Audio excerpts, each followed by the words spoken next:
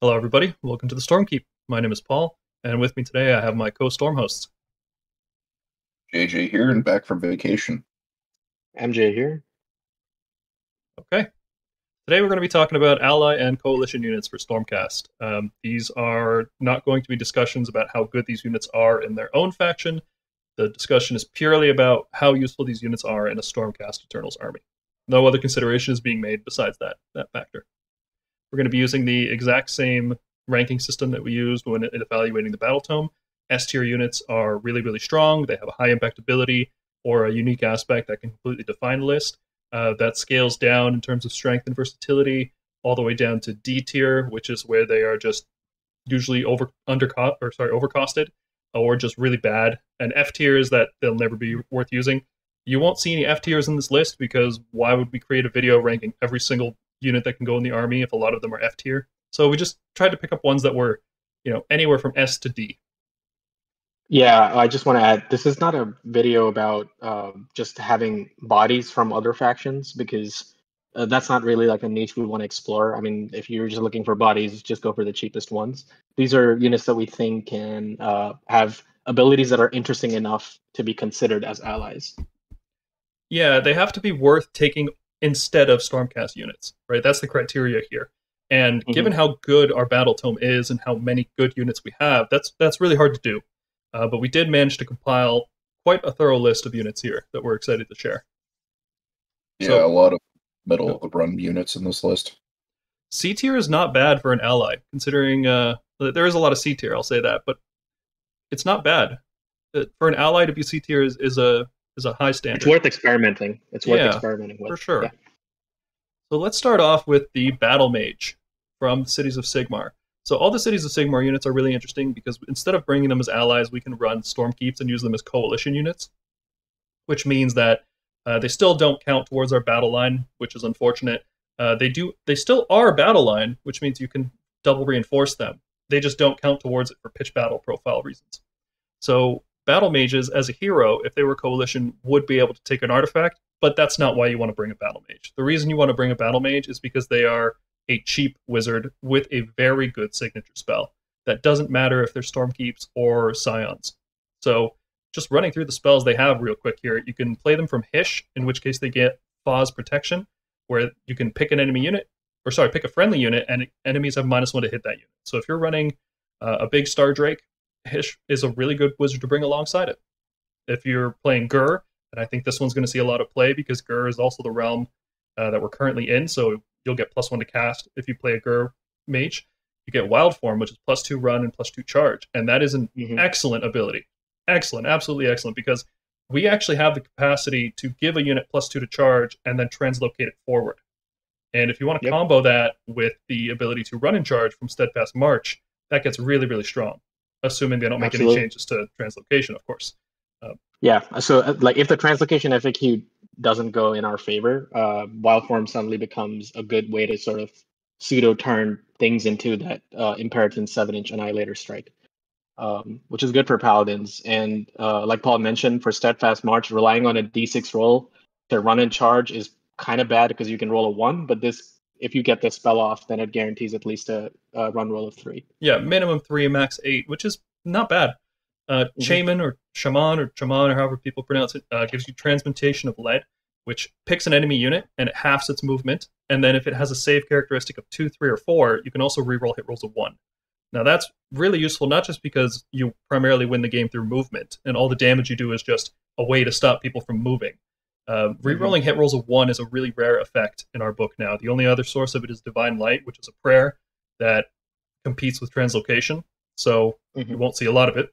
and it's really hard to justify bringing two priests with with how tight our points are.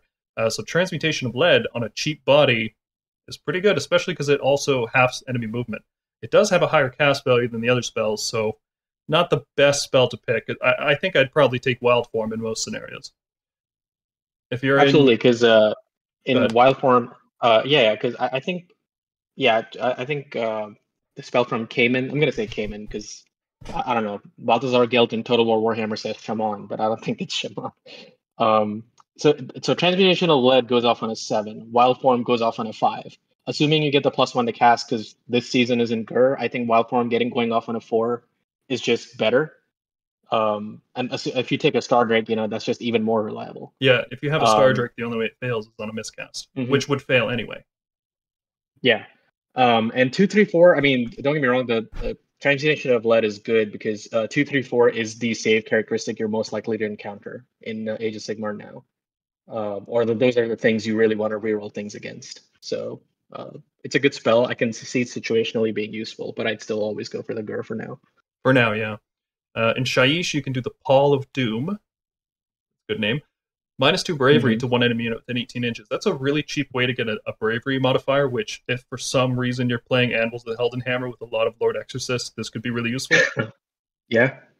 Um, it's also like one of the few ways to reduce bravery because I don't think Stormcast have any decent ways to reduce bravery anymore. Like Dracolines are, you know, they're gone. No, I think we lost some of our I don't traits, think there's a so. single way for a Stormcast Eternals army outside of allies to reduce bravery. I could be wrong, but I'm, I'm fairly certain. Mm-hmm. Uh, Ulgu, so yeah, that could that could come in handy. Yeah, Ulgu gives you the mystifying miasma, which is all about controlling enemy movement. They can't run, and they have minus two to charge rolls, and that's a very strong effect. The problem with it is they have to be within 18 inches of you in the hero phase, which means they're probably going to charge you anyway. Mm-hmm. Or they already have. So Ulgu, you know, if we end up moving to to that realm in the future, that could be interesting, I guess. I don't know. Yeah. It's it's good. It's a good effect. It's just I wish the range was longer. And I don't think it's worth mm-hmm. comboing out of a spell portal in in a Stormcast army. Maybe though, mm-hmm. it could be. Like if the meta really shifts towards something really fast, we can you know, drop a spell portal, uh, like translocate a wizard, drop a spell portal somewhere really far up, and then and then mystifying miasma out of it. That. that yeah, could that fun. could be. That's a very niche combo, but sure. Um, and if it's, really, if it's a Lord Arcanum, you can also just teleport back uh, the the oh, Charger variant. So yeah, it's really niche mm-hmm. combo, but it's it's uh, an interesting ability, worth noting for sure. In Ghyran, you can cast the Shield of Thorns, which is it, it just causes D3 mortal wounds anytime an enemy finishes a charge within three inches of you. Uh, so you can mm-hmm. combo that with the Stormkeep's ability to deal 2 d3 mortal wounds if somebody charges your big Vindictor block. Or you can put it on a Star Drake, and that's a big anvil. Or on a bunch of Stormguard Drake. You know, anything you yeah. want the enemy charging, it adds up as a, as a nice little source of mortal wounds. And it does trigger every time they charge. It's not a one time thing. Yep, so every time. If they charge it with three units, that they're taking those 3d3 on that's each, correct. like, or 1d3 on each unit as we mentioned, the Battle Mage can benefit from the Star Drake, and since he's such a cheap wizard, those extra like 30 to 40 points you're saving compared to other wizards in our army, it does add up. And sometimes you just need a cheap uh, a cheap spell, and that's what this guy mm-hmm. offers you. And the the most potent combo I found with this guy in particular is if you translocate a unit up and then you wild form and then use the steadfast march command, you get a mm-hmm. huge mobility boost on on something like paladins right now, which are really suffering from enemies using redeployment after you translocate and then move. It effectively mm-hmm. almost cancels out the uh, the movement, which is hilarious. Uh, but if you have wild form and you can run in charge, you're getting yeah. in. So it, this makes uh, paladin teleport strategies really reliable. I really like using the battle mage. Uh, that said, he is incredibly fragile. You know. Oh yeah. Six. He basically save. has no defense to speak of. Yeah, a stiff breeze goes his way and he just falls over. So he's pretty much good for one turn, and that's about it. Don't rely on him to hold objectives for you on, on some of the battle plans that require heroes. Uh, yeah, and he has no casting bonuses outside of Ghur, so the Wild Form combo will become less reliable once we do eventually leave this uh, this plane. So mm-hmm. overall, I, I, yeah, there that is probably why I won't take the transmutation of lead because the plus one to cast, like that, it having a casting value of seven means I'm not going to get that off as reliably as Wild Form, which goes off on a five right now. So and one of the you know should be worth mentioning. It's one of the best kits Games Workshop has ever produced. The amount of variety in a multi-part hero kit, I love it. I wish they would do oh, more oh, yeah. of this. It's disappointing that they haven't. Yeah, agreed. So overall, this is this is an A tier unit.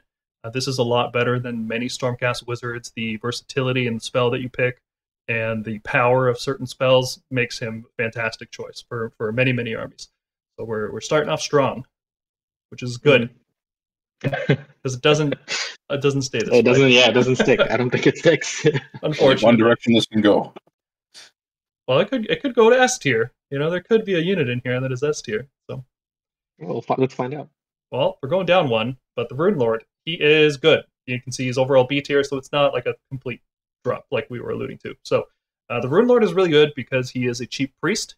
He can unbind and dispel at plus two, which is really good now, considering uh, Stormcast have no bonuses to casting or unbinding, aside from Krondys, who I believe he doesn't get unbinding bonuses, just casting. Nope, only it's casting. Yeah, yeah and uh, yeah. So the, aside from our dispel scroll, which is really good, uh, he is our he's our best unbinder, which is a great choice for only 100 points, especially because if you bring him in a Stormkeep's army as a coalition unit, he can take an enhancement, which means he can take the universal prayers. So you can take either the healing prayer or the uh, command point prayer or curse potentially even. Uh, there might be some really good combos with curse that you can pull off.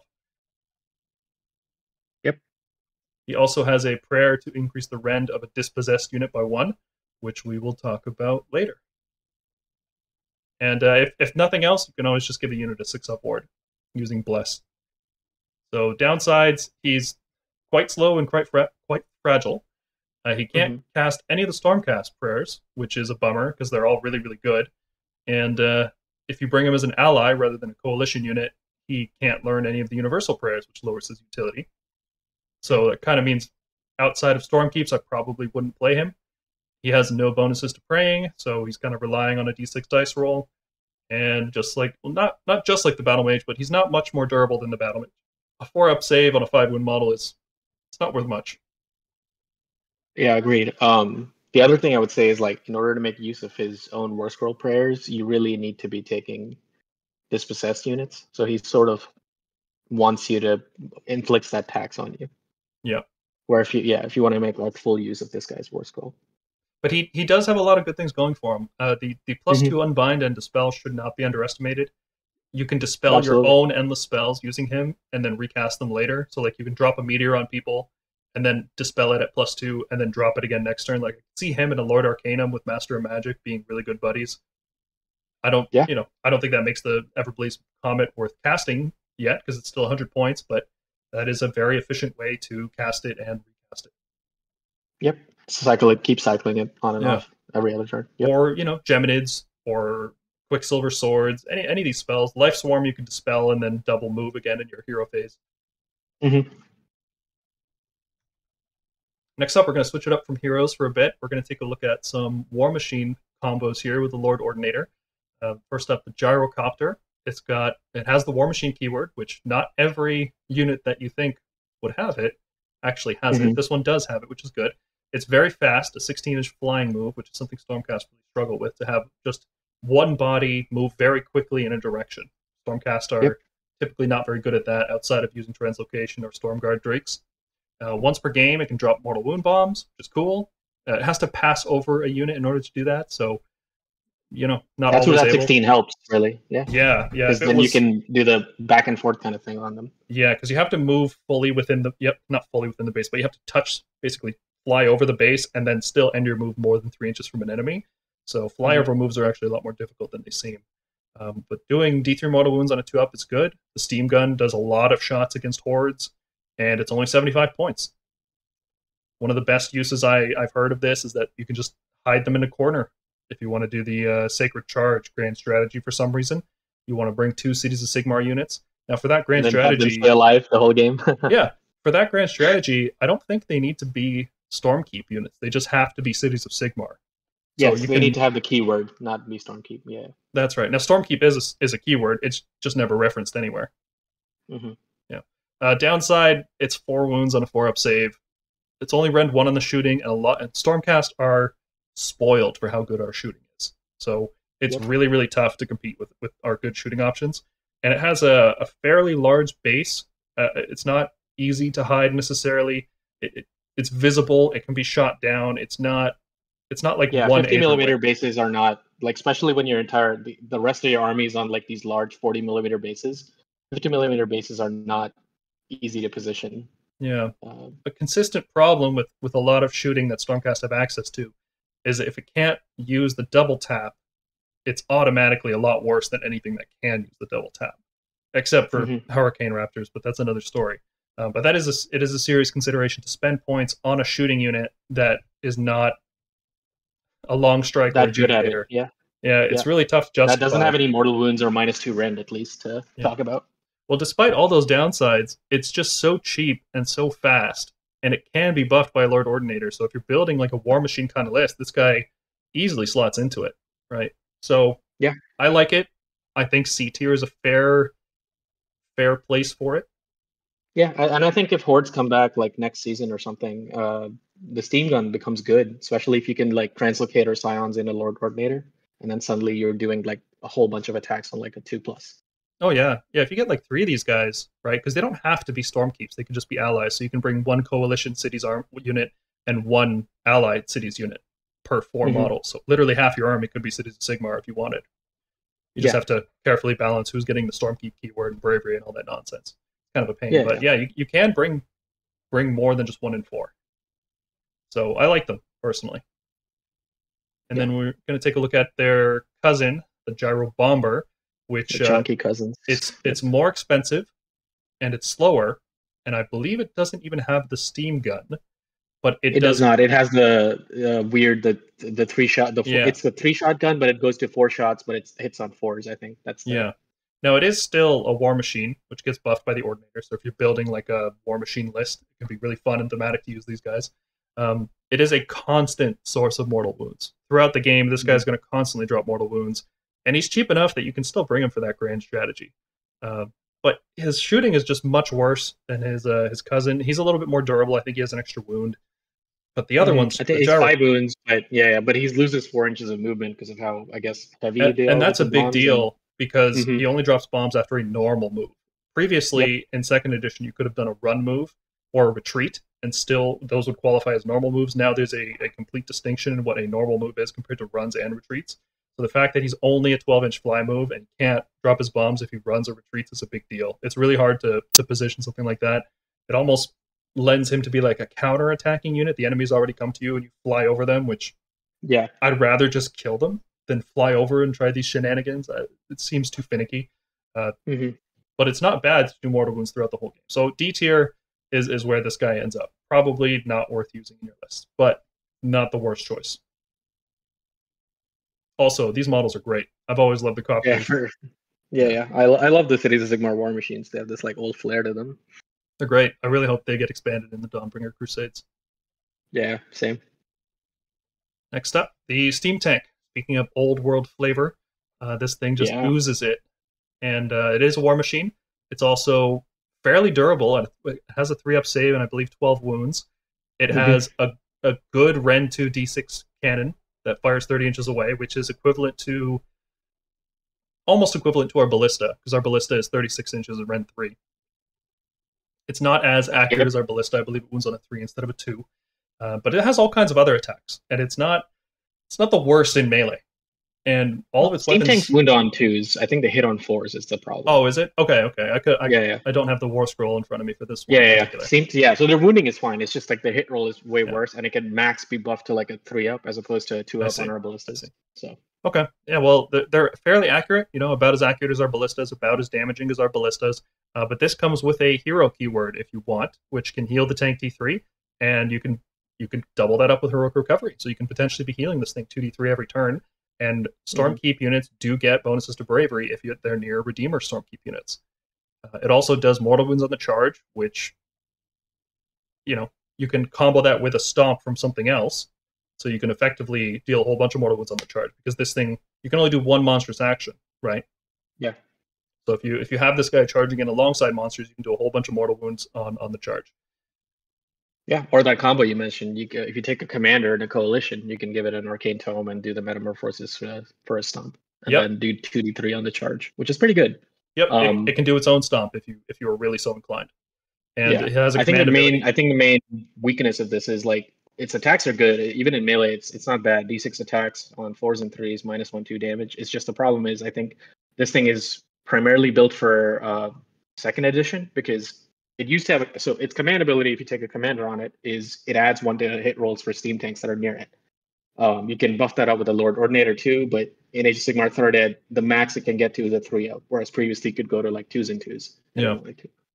Yeah that, that is definitely the downside. Also its its command ability i mean it's cool because it doesn't use uh, all out attack which means you can use all out attack with another unit and still give this thing plus one hit um, mm-hmm. if you mm-hmm. don't want to bring an ordinator for some reason or if it's just out of range. Um, but it it yeah it hits on fours. It's only getting up to threes at best, and its own shooting attack buff doesn't work on any melee weapons. Right? It's not like a it's not yep. like some armies like I know Seraphon can buff their units in the hero phase, and that lasts throughout every phase, which is really good on their monsters. But this guy is just in the shooting phase, so it's uh, not the most efficient use of a command point, I'd say. And the steam gun is only eight inches, which means you're getting pretty close to the enemy. Like you're shooting this right before you charge at them. And uh, uh yeah, that's pretty good. Yeah, the, the only yeah the issue you'll find is like I want this to get into the enemy, but I don't like that two d six random move. Like it's two d six random moves are just so bad. Yeah, it also has a really lousy unleash hell. Uh, you'd think with all the guns that are on it, it because the steam gun's only eight inches. If somebody does a deep strike charge or or you know eight point one inches, they just plan it perfectly. Or no, no never mind. That's yeah. Overwatch in 40k. You, you, do unleash hell after they finish the charge. So like you'll get yeah, all the but, models but you still range, have to be within range of at least a steam gun to like make full use of it. Yeah. Otherwise, you're just firing a cannon, right? It's like one can like one cannon shot. Yeah, and uh, because it's 12 wounds, it can't get cover or lookout, sir, which is really unfortunate. Uh, you'd really want uh, a ballista that can get in cover and, and, get lookout, sir. That would be great. Um, so C tier, I think, is is fair. It has a lot of good things going for it. Think of it like a more expensive ballista with a whole bunch of extra guns strapped onto it. Yep, and some armor, some like serious yep. armor. It can heal itself. It can move around and do stuff. It's it's fine. If you compare it to a ballista, it's fine. Next up, the Luminarch of Hysh uh, gives a six-up ward to all nearby cities units. So if you're using multiple cities units, you can just give them all a six-up ward, and that includes itself, of course. It gives plus one to unbinding for all battle mages, including itself. It has a pretty cool mortal wound shooting attack which if you're playing a Mortal Wound bomb list, this is a really good inclusion because 30 inch line, you can do it from really far away, hit a bunch of units in a row, and on a two up, they all take D3 mortals. Well, you have to roll for each one, but you know what I mean. Yeah, I mean two up is pretty reliable. I I, I take that. I mean it's uh, the fact that it does it like every nice turn. Like a lot of the mm-hmm. guaranteed effects are, you know, like the Knight Judicators four up in an area, and the Knight Vexillors once per game. A lot of these effects are constrained in some other way. So a two up to deal D3 every turn. is pretty good. Mm-hmm. Um, you can also stick a battle mage on it. You don't have to, but you can. In which case, uh, gets a two really good spells. Pause protection is good, and burning gaze is good. Both really yeah, good spells. I mean, we just talked about uh, pause protection is the minus one to hit. So uh, yeah, it's, it's a good spell to have. Yep, and you don't necessarily need to put the wizard on it, right? For only 220 points, you can just take this thing as a mortal wound cannon that fires every turn. And yeah, mortal wounds are are uh, the more of them you get, the better they get because there's always a critical mass of them. You'll never get enough to kill a gargant in one turn, but if you can get you know five d three mortals in an area, you can really punish people's tight close uh, close formations. Agreed. Yeah, it uh, it it really punishes some formations, and if you think about it in terms of how a Knight Judicator works, an Knight Judicator is what two hundred five. This thing's only 15 points more. So in terms of utility, being able to do that consistently every turn is not bad. Yep, agreed. So downsides, uh, it's expensive. If you take the wizard, it's 275. You know, for that for those points, you can almost get a Tauralon or some Storm mm-hmm. Drakes. So it has to really get its value. You need to shoot five turns with this thing. Um, it's not particularly durable. It can't get cover or lookout, sir, if, if it's a hero or otherwise. Yep. Uh, it's bravery. Only 11 wounds, four up. Yep. yep. So even if you put a hero on it, you're not going to be getting a lot of heroic recoveries out of it. And you could mm. end up hitting yourself with the Searing Beam. So it kind of has to be up front, which makes it vulnerable to any kind of fast or teleport charges. Uh, and it's not durable, like we said, so it's probably going to crumble. All that yeah. said, I think I think it's still a C tier unit. It's really yeah. it's got a use, and I think people can make it work in some lists. Mm-hmm. It's not something that immediately sticks out. It just can't be behind. What I don't like is like like ideally you want this to be like behind your unit because like it, it's weird because especially when you watch uh like lore videos or like i don't know like art of it it's always like on a hill. But you know that's not really well represented in aos mm-hmm. so like you're still going to hit your own units if your units are in front of it. So it needs like a clear sort of lane of fire almost. Yeah. Yep.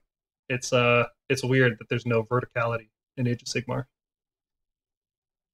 Well there sort of is but not when it comes to something like this yeah, not when it comes to like measuring lines and stuff. Yeah. So next up is the Celestial Hurricanum, which, uh, unlike the Luminarch, which gives plus one to unbinding, this thing gives plus one to casting, which is a lot more useful, I would say. It's better to cast mm-hmm. your own hmm. spells than deny your opponent's spells.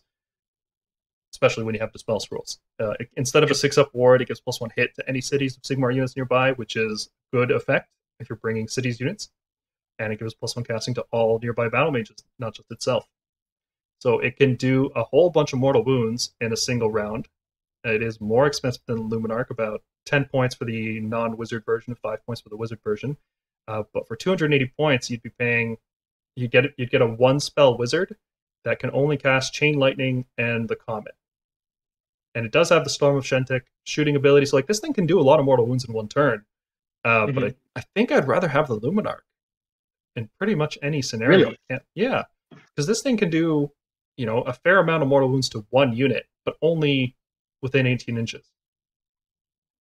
Right, like it spells okay, a shorter so range. Here's here's here's so here's my argument. So I think this is slightly better actually because okay because with the Luminarch, you have to be extremely careful to not cover up your firing lanes, right? You need, you can't have it in the back. It needs to be up front, right? They both have the same kind of survivability, but your enemy can actually avoid the Luminarch's sort of gaze with a bit of careful positioning. It is longer range, so it's tougher to do for sure. But a one mil, one millimeter line is not hard to avoid. You know, it, they can sort of just stagger everything like an inch between each other, and suddenly you're only hitting maybe one unit with D3 mortal. Well, the good thing is you can move to, before you shoot, right? Yeah, so this thing you can move, and this thing moves, I think, uh, 10 inches when it's full. Yeah, full. So you have a potential range of like just pointing at something 28 inches away and going, okay, you take 3d3 more wounds. No, what I'm saying is you can you can change the angle on the Luminarch by moving first and then shooting. Right? It, it puts you in a weird position, but you can get consistent value out of its mortal wound bomb every mm-hmm. turn. I guess this is more of a single target killer because it's like if if I if I, if my opponent let's say had like a 14 wound monster and two five wound support heroes in some battle line, I could try and accumulate value for that over two rounds or three rounds. I could just point at like a battle mage, an opposing battle mage, or like a five wound support hero, yeah. 28 inches away, and go, okay, I'll try and delete you this turn. So, so the reason I put it in D tier is because Stormcast have no shortage of ways of deleting things. We're very, very good at that right now. Would you rather have this this Hurricanum or a squad of Raptors? Oh no, I would definitely have Raptors. In fact, yeah. the one of the main my main gripe with this unit is um previously it used to have buff hits for order, not just cities of Sigmar. And that would have been amazing to have in like for 280 points in, in like a Stormkeeps list because yeah. that's effectively like a Tauralon giving you like all out attack all the time or something. Yeah this thing would be really and, good. It's really good in the city's army, obviously, right? Because everything gets the plus one hit, and there's a lot more yeah, oh, battle oh, yeah. nearby I mean, normally. But in a Stormcast army, joke. yeah, yeah. The joke is that Battle Tome Cities of Sigmar is really just Battle Tome Celestial Hurricanum because it's yeah. the one auto take every city's player takes. Yep. But in a Stormcast army, I'm not feeling it. We we have no shortage mm-hmm. of ways of killing one thing at a time, and I'd ra- like the Luminarch's different. It serves a different role, right? It doesn't compete with Raptors. It competes with the Knight Judicator. It competes with Night Vexil. It competes with the Celestant Prime's Comet. That's a different area. Whereas the Hurricanum, mm-hmm. plus one hit doesn't really matter for us. Plus one casting is okay, but generally doesn't matter because we don't use that many battle mages. You'll have one, maybe. I don't. I can't see people using more than one in the list, and it won't be this one. It'll be the one on foot. Yeah. So you're getting basically a mortal wound cannon and raptors are a mortal wound cannon. you know, they're really good at what they do. Yeah. Would you consider this in a list with no shooting? Like, let's say, I know you said let's not ever do that because you need shooting to make things come to you, and Stormcast are a mixed arms force. Let's say I built a Stormkeeps list instead of taking six Raptors for 480 or I don't know, 10 Judicators for 400. I take one of these instead to put pressure on my opponent and start sniping his support heroes for sniping support heroes, it's not bad. The fact that it you know gets around lookout sirs, it gets around a lot of armor saves that are that are really tricky. Like if you're playing against another Stormcast, maybe if you specifically yeah. just want to target support heroes, but I don't see it doing that much to help well, take the, down what, bigger. What targets. I really like it. Well, what I really like is like if you do have that Redeemer Castle formation, this thing's Unleash Hell is still 3d3 mortal wounds potentially because it's a shooting attack. So if you unleash hell, you're still going to be three dice on a two up. You take d3 mortal wounds, which you know something charge is charging you, and you want to give it three d3. That doesn't seem too bad. I like it. I like the unleash hell on it. Yep, I do like that. It's just uh, hard to think when I would rather have this instead of raptors or or judicators. Yeah, and the fact that the, the, the battle mage on it, because you do want to take the battle mage on it, it's just it, it just loses a lot of the spell utility because you can't like take any other spell. Like I don't, th- yeah, because I think you can take because it can't learn stormcast spells. It can only learn universal spells, and uh, it has its force scroll spells. The, so. If this thing was 200 points, I would it would be a very strong consideration. But because a lot of its value is tied up in stuff that doesn't matter for our list, it's just mm-hmm. a mortal wound cannon. I don't think it puts out enough pressure for its current points for our list. Fair. For cities, Fair. armies, this is great. Fair. I mean, so but think of it this way, right? Like, so, sorry, just to go back, and I, I, don't want to harp on this too long. You're getting a battle mage and a mortal wound cannon. Well, it's is, not is a battle mage. It's it's a battle mage that casts chain lightning, which is one of the worst spells that battle mages get. Fair, yeah. Right. Yeah. Because Stormcast can cast you know, chain lightning. It's it's our our chain lightning is worse than theirs. It is, I'll but it it's not much worse, you know. Yeah. but this is the worst version of the battle mage. Uh, I would rather have a Ghur battle mage who would also get plus one and have a much yes. If you could customize the battle mage on it, I think that would increase its yeah. value. Definitely. Yeah. So, anointed on Frost Phoenix is amazing. Mm-hmm. It is one of the main reasons you want to run Stormkeeps. If you're playing Stormkeeps, you need a strong reason not to bring this guy. He is an absolute chad. The minus one wound aura for anybody within nine inches on melee and shooting is insane. That is an insane effect. It's so strong with Celestial Menagerie, you can just have it in any kind of army. You're playing a a Gardus Castle, boom, here's a minus one wound aura. You're playing a whole bunch of Dracoths who normally, you know, are pretty fragile. Here's a minus one wound aura to fly next to them. This guy is is incredibly durable. Twelve wounds on a usually a three up save, not the characteristic, but you know, four four up save with plus one, and a mm-hmm. constant four up ward that can't even be shattered by by a Slann casting the uh, artifact destruction spell. Just always on for up ward incredibly fast, 16 inch flying move, right? It's a monster, a fast flying monster with a three up save and a good ward. It, has got all the boxes checked off for what makes a good monster yep. in this edition. Yep. The one downside is that it has bad damage, right? It does so low damage you can pretty much ignore it. Agreed. Right. So so there's other good things about it. If you take Phoenix Guard, which become a pretty good consideration if you take Phoenix, right? Then he can buff the Phoenix Guard as well. His command ability mm-hmm. to reroll wounds is a very distinct ability in terms of accuracy. There's very few ways to reroll wound rolls these days uh, going forward. He's bravery nine, which becomes bravery ten in a Stormkeep army, which is insane for for heroic recovery healing. He is coalition potentially, which you can take an arcane tome and then use flaming weapon and get eight two damage attacks on the talents, which bumps him up Three from damage attacks. Yeah, they're only rend one, but uh, yeah, they're rend one two damage, but they become rend one three, and no, no, the red one one normally. Ice cold talons. Yeah. Ice cold talons are two damage on are base. Are you sure? I thought they were. I thought they were one damage each. Nope, they're two. I'm looking at the war scroll right now. Okay, even better it's then. The Great Phoenix Halberd. It's the rider who does one damage. The talons okay. on the frost Frostheart do two. Okay, I mixed it up, but yeah, three damage is, is still huge, right? Yeah, he, he goes from attacks. That potential like 24 damage. Yeah, he goes from being so meh in damage that you can ignore him into like, oh, this guy is suddenly potentially doing 24 damage with just the mount. It's only rend one, so it's not going to cut down Archaon, but it is going to chew, chew through a whole bunch of stuff. Mm-hmm. And uh, you can easily give him plus one because, like all the cities of Sigmar units, they can benefit from a Tauralon. You don't have to waste all out attack on this guy. You can just passively buff him with a Tauralon nearby and yep, move your army up. And uh, what I yeah. love is, yeah, what I really love is he can because it's two inch reach. He can even like be directly behind some liberators and just be swinging over them, or some phoenix guards. Mm-hmm. Yep. Now the the downside is that he does need wizards to function, so you're constraining your list in that way. I, that's why I really like the arcane tome on him. It makes him a lot more versatile. Flaming weapon cast on a four, that's almost mm-hmm. guaranteed. It's it's really close to being one of the most reliable spells in the game. It's it's like uh yeah, that's insane how easy it is to cast. And every time anybody casts a spell, he's now on a three up save beautiful. The synergy, right? It's so good. Oh yeah, it's it's it's like everything. It, it, this weirdly enough is doing everything Stormcast wants to be doing. Yep. Like just a tough, durable guy that can dish out some punishment if you ignore him. Yeah, he's not a high priority. Like your your opponent wants to kill him, but he's really hard to kill. You can't ignore him either because the the extra damage from flaming weapon. It's really strong. Mm-hmm. And really plus, strong like hero. if your opponent wants to charge you, that minus one to wound, like we discussed how good that uh Celestial Menagerie trait was because there aren't that many wound buffs in the game, and minus one to wound will act, absolutely cut down people's uh, offensive output in this yep. game. So downsides, uh, he kind of constrains your list in a way, right? Like you want to play Stormkeeps because uh, the damage is a serious consideration. Without Flaming Weapon, his damage is not impressive. Mm-hmm. So I think you really want to play Coalition and you really want to give him an Arcane Tome. So you have to play a list that either has extra artifacts or you don't care about giving the Arcane Tome to him. Like let's say you're playing a really aggressive list where you don't even give the Mirror Shield to the Relictor. Uh, you're just teleporting stuff forward and moving everything up, right? Like it, it constrains your list in that way. He needs wizards. I would probably run at least one more wizard nearby just in case Flaming Weapon does fail.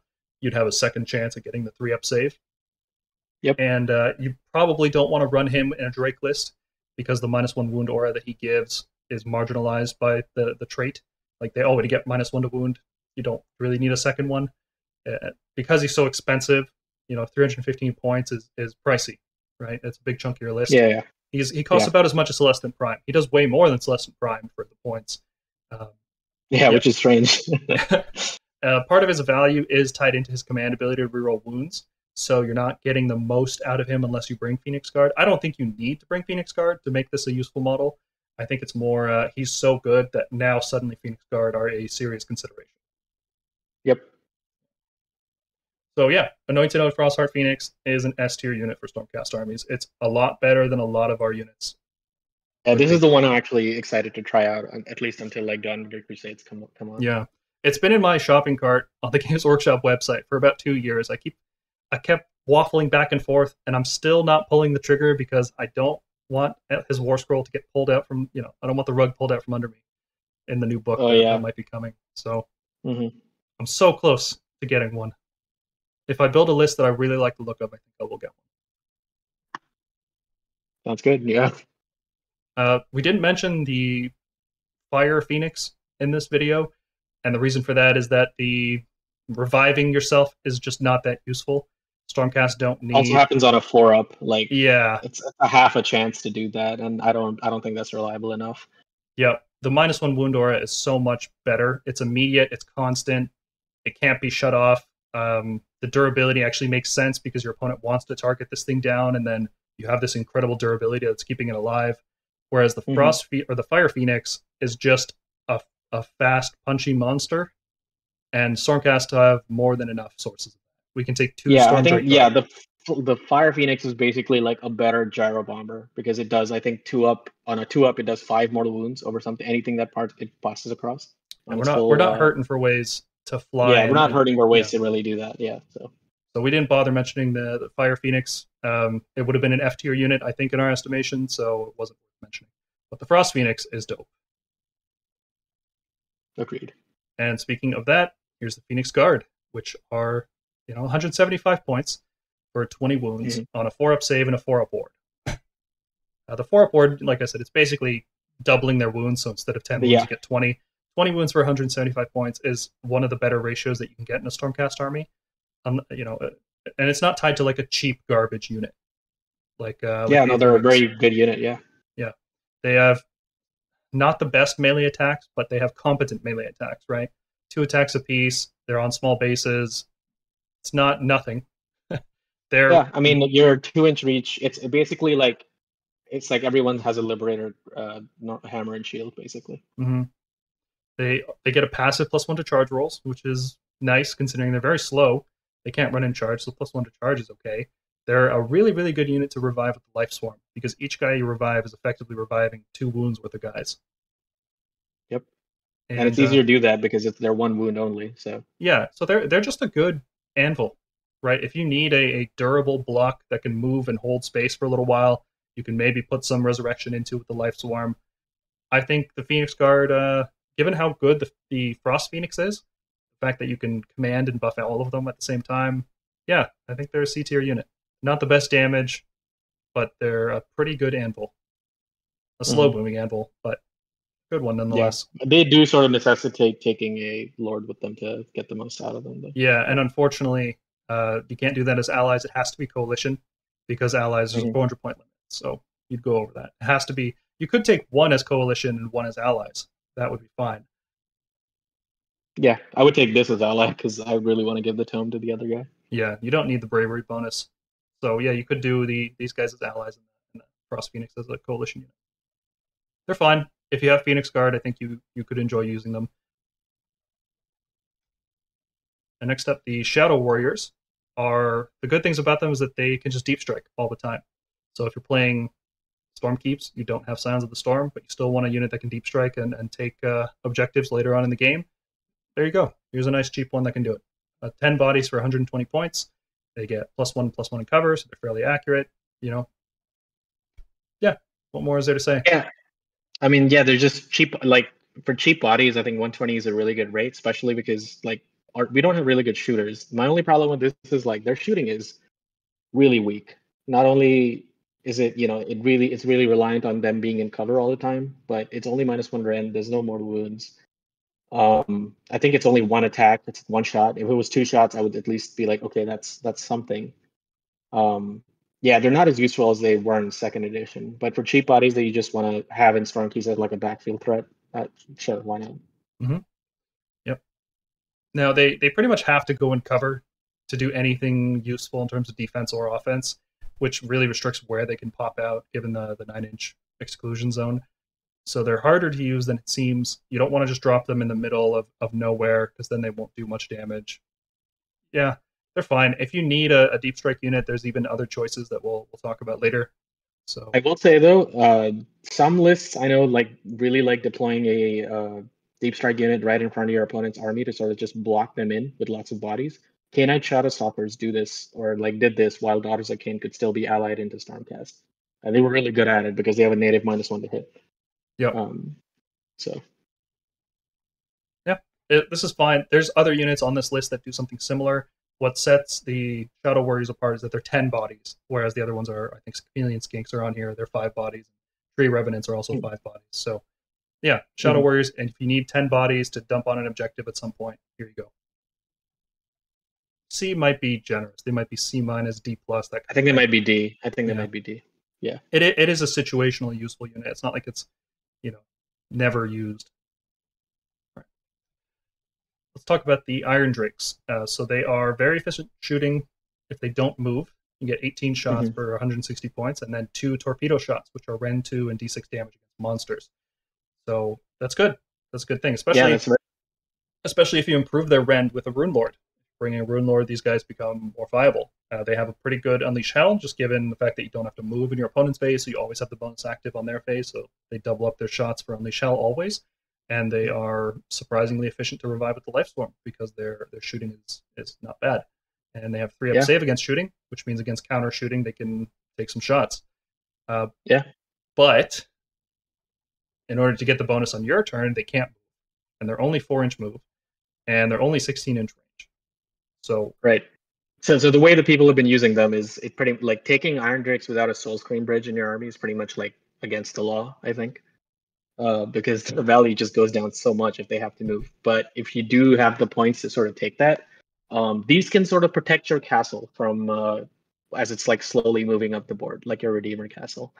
Um, the only problem is again, like our, it's just that what shooter, what unit would you not take instead of this? And the answer is it's, it's very hard to answer that because our shooters have really efficient statistics now. Yeah. So.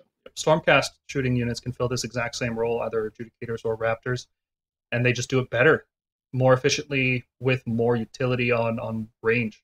Uh, like bow mm-hmm. adjudicators mm-hmm. and raptors can strike out way further away. Uh, these guys are a counter shooting unit in a castle, which mm-hmm.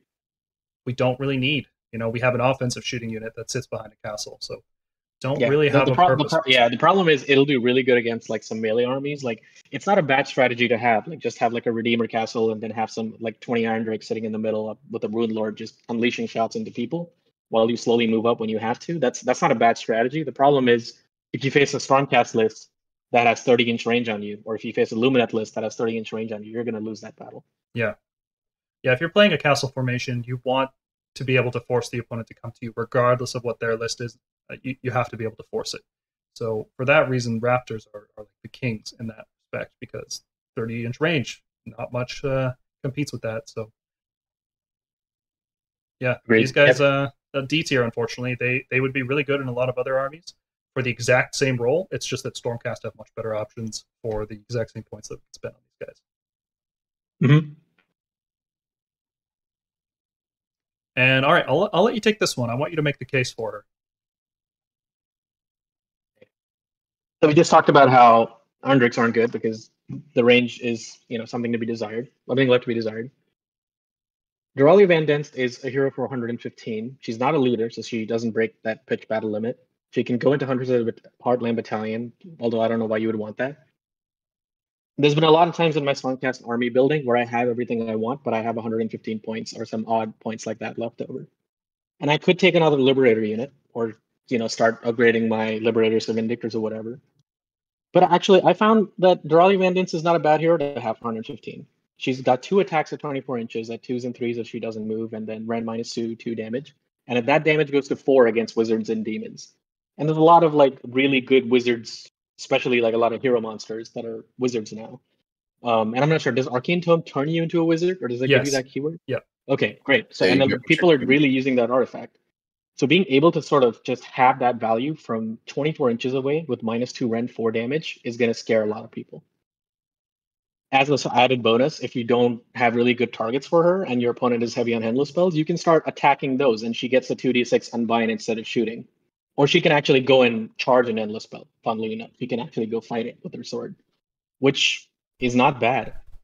Um, I think for 115 points, if you're like, I don't know what to take and I don't want to upgrade my Liberators to Vindictors and I don't want to take a Liberator unit, I think she's fine. I think sometimes she might provide more value than a, taking another Liberator unit. That's so my case for her. So situationally useful. That's why I, I grade her at C. That's potentially eight damage against, you know, a wizard or demon. There are mm-hmm. a lot of small support wizards in the game. They're getting phased out. I think, uh, like even Ironjawz have stopped using their their little small hero that has the mm-hmm. spell because they can just give an arcane tome to one of their cabbages, and uh, eight damage potentially a turn for 115 points, and it is fairly accurate at twos and threes. I, I see it. I see it as worth it. Um, because even like think about you facing a Lumineth army, like everything's a wizard. It's just being able to unleash minus two rend like eight damage at them with a 115 point character. It's really good. And can, the thing is, she's survivable. Like she's the thing is like most heroes at her point level. Like if you look at the battle mage, who's like a six up save and no ward, she's a four up save, five wounds, five up ward save natively. That's she's tough. She's a tough cookie. She's not gonna die to just some light shooting breeze.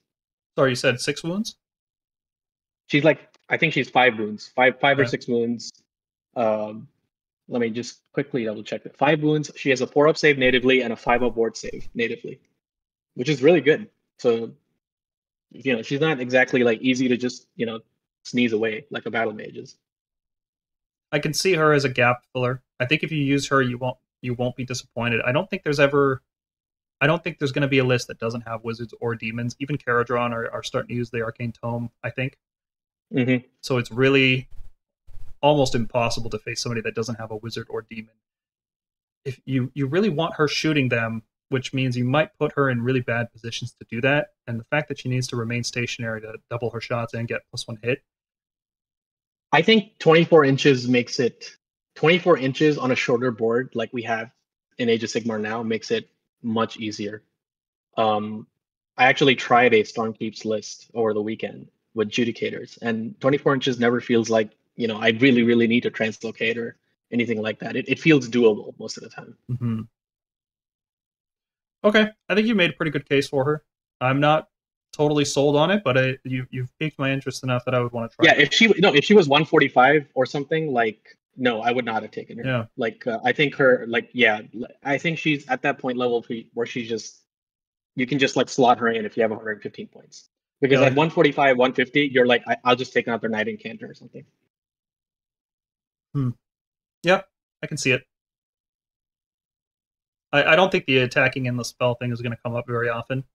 Oh no, not at all. And and her father, by the way, don't take her father. He's terrible. Like yeah, he's like a melee version of her. It's much worse. He's like a melee version, yeah. But he he's six attacks, threes and threes, minus one, one damage with his big sword. But then he really only wants to be fighting wizards and demons. So I'm really glad you can take them separately and they're costed competitively. Oh yeah, yeah. If this was a warband kind of situation, I wouldn't have taken. Them. Yeah. Yeah. Okay. I think I'd give her a try at some point. I'd have to find 115 points in a list somewhere. She doesn't really need to be a coalition unit because she can't take artifacts anyway. So you can yeah, put her in Scion's list. Okay. Yep. Yeah, I think I'd give her a try. All right. Uh, so any closing thoughts about the Cities of Sigmar units before we move on to the rest of the video? JJ, you've been pretty quiet this whole time. What are you thinking? I yeah, just following around along here. Not much exposure to City of Sigmar, so I can't really comment on it much. Um, yeah, I really hope the Dawnbringer Crusade brings some interesting optics yeah. because, um, yeah, everything just seems like uh, it's we're looking at war scrolls that were brought over from Warhammer Fantasy. Exactly. Know? The one thing I will say is that with Doralia, and I hate to meme, but it just seems like Nated Cantor with extra steps, right? um, no, I would say so. So that's what I said, right? If she was ten points more, I'd probably take a Knight Incantor. But I could legitimately see taking her, slotting in her at 115 points over a Battle Mage, in some lists. Yeah. Yeah, like think of it as like you're adding two more or like uh, two shots at minus two and two damage or minus two and four damage, potentially four to eight damage in your army for 115 points. I think I'd do that in a lot of times. Can we bump her down to D tier just because of the questionable paint job that the heavy metal team does on, on women's faces for some reason? sure. I don't know how you'd paint her. I mean, I'm terrible at painting faces, but uh, yeah. Oh yeah. I mean, I, I, think their heavy contrast does not go well on uh, yeah. female faces. I'll put it that way, and makes them look very grotesque and like weird lighting or whatever. Like statues come to life. Mm-hmm. Like go look at the Drukhari and Sisters of Battle faces. Good lord, they look yeah. they look bad. All right, moving into the next section here is uh, just a compilation of Duardin units. So this is Kharadron Overlords, Fyreslayers, and that's it really, because everything else is in Cities of Sigmar. So let's jump into it. Uh, first up is the Grimwrath Berserker, which is again is a hero that's not a leader like Doralia. Uh, you can put him in Hunters of the Heartland. He's cheap, 120 points, and the reason I, I, I like including him just as an interesting thing is because he got a new war scroll in Broken Realms, uh, where you choose an oath at the start of the first battle round, which is you know adds a lot of versatility. If you bring mm-hmm. him as an ally, you know he's got different oaths. One of them's like you get plus one plus one if you're fighting a priest, or plus one plus one if you're near a bodyguard unit or something like that. But one of the ones that's really fun is if you bring him as an ally, he just always has plus one plus one all the time. Mm-hmm. Or you yeah. can make him run in charge, or you can give him a somewhat decent ward. Mm-hmm. So he's which it which isn't bad because he's six wounds on a four up save. So six wounds, four up save, and five up if he's in combat range is is pretty decent. Not nearly as good as he used to be. I actually prefer oh, the yeah. old War Scroll a lot compared to this one. How come? Well, he was a lot more durable, right? Was he? I think so. I think his old War Scroll he he had a better ward. Maybe I'm thinking of first edition. Um, I don't think so. I think well, okay, okay. I think you are thinking of first edition. I think well, I guess I guess you're thinking of second edition before they uh, changed it in Broken Realms. I think is the better. Maybe. I don't even remember. Yeah, it's been think... too. He's he's had three war scrolls in like three years. So anyway, mm-hmm. so he, he can be four attacks at, at twos and twos, rend two two damage, and total immunity to rampages because you can stick him in hunter. So you could be this nice little monster cleaver, uh, mm-hmm. but you know he's slow as heck. if you have the plus one plus he one. He, he really yeah he really needs yeah if he really needs a run in charge or yeah he that plus if you take the plus one plus one he's gonna be he's gonna basically gonna be running all the time. Yeah. So not charging. He as an ally, not a, you know, everything we talk about going forward cannot be coalition. This is all allies, which means no traits and artifacts. And uh, do we really need to spend 120 points on a four inch move? He's basically a paladin, right? Like four attacks, twos and twos, rend two two damage. He's a, so, he's a retributor that doesn't do mortals. So I noticed this isn't on the slide, but he does have a caveat on two up. He fights again at the end of the combat phase. Isn't that one of his? And oath? no, it is. It is okay. part of his war scroll. It, that, okay. That's actually so. So when you were saying the old, so I actually looked at the old war scroll because I have the book. Um, he just had a five up ward save. That was that wasn't an oath. That was always part of his war scroll. Instead, they gave you they removed that and they essentially gave it to you as an oath. Mm-hmm. But what he's always had is the two up fight again, and then the fight when he dies. Uh, does he do the two up fight again now? Mm-hmm, he does. No, not when he dies, just period, all the time. He double fights. Yeah, yeah. At the end of combat, at the end of combat, if he's within combat range okay. on a two up, he fights again. Okay, so let's say potentially eight attacks at two up, two up, rend mm-hmm. two, two damage. That's still not as good as just bringing paladins. Yeah, right? that's uh, two paladins worth, and yeah, for just uh, what 235 so like 100 115 more points yeah yeah so unfortunately as fun as this war scroll is to use if you use it you're not going to be disappointed he's not bad by any means but he doesn't really give Stormcast anything they don't already have access to. We already have a bunch of four inch move units that we can teleport around and we can buff up easier. This guy doesn't do much for us. Yeah, I think he's yeah, I think I think because he doesn't have that same instant value because he's so slow and you need to get him into combat. He falls in the same category as Doralia, but where Doralia can sort of just produce value from 24 inches away, he really needs to be up close. So I think Yep. D tier is fair for him. Yep.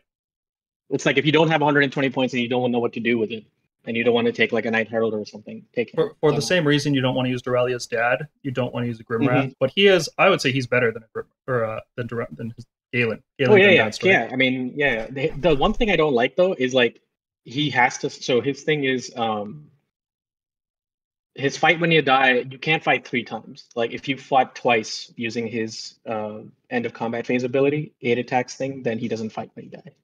So that that's the bummer. Mhm. Also, if you're if you slay this model in the shooting phase, uh, it does not fight when it dies. It has to be slain in the combat phase for it to do that. Yeah, and he's pretty easy to kill in the shooting phase. Mm-hmm. Four up save. Yeah, he's he's not going to get his great ward save if you don't take the out. So yeah. Right on. Uh, next up is the much better version of the exact same model. Basically, this is uh, everything the Grimwrath. Everything bad about the Grimwrath is also bad about Gotrek. He's he's still slow. Uh, he's still only forage move. He's just going to walk up the board, but he's just so much punchier. It's insane.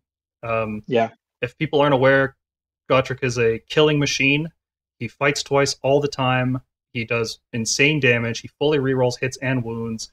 He does d6 mortal wounds on any hit roll of six. Um, he's also not a leader, so he can go in Hunters of the Heartland. So now you have an actual super killy unit that can't be roared, it can't be stomped for those mortal wounds, Yep. and it's also Yeah. insanely durable on top of all that because all damage Yeah. done to Gotrek is reduced down to one. So if you did That is uh, a six damage ability attack, of- yeah, if you're Yeah. fighting Spirit of Durthu and he hits you with a sword that does six damage, you say no, it did one damage. And then on top of that, he has a three up ward. Yep. So on average, you need 24 packets of one damage to kill Gotrek, and you better hope you do it before he can do heroic recovery. Oh yeah, he's super easy to heroic recovery too. I think he's bravery. I think he's bravery nine or ten or ten. Yeah, he's bravery ten. Yep. So compared to let's say four fulminators, which are 460 points, and those are like the gold standard of doing damage, he's about as durable, effectively 24 wounds, but he heals himself, right? So Mhm. he's good. He, he is an efficiently costed super beat stick. Like he makes Celestant-Prime look like a bitch. Oh yeah, like oh good lord. Yeah, I can't believe that he's 435 points this edition. Uh, so Um, downsides, One there's not yep, many. slow. There's not many. He's just slow. That's it. And Yeah, if you, if you and fight unlike a bunch the of uh, Berserker, yeah, it's like I think you can't deep strike the Grimwrath Berserker with if you ally in a Rune Smiter. You shouldn't. It's that's a really bad idea, but you can't even do that with Gotrek. Yeah, so so despite all that gushing, why why is he only B tier?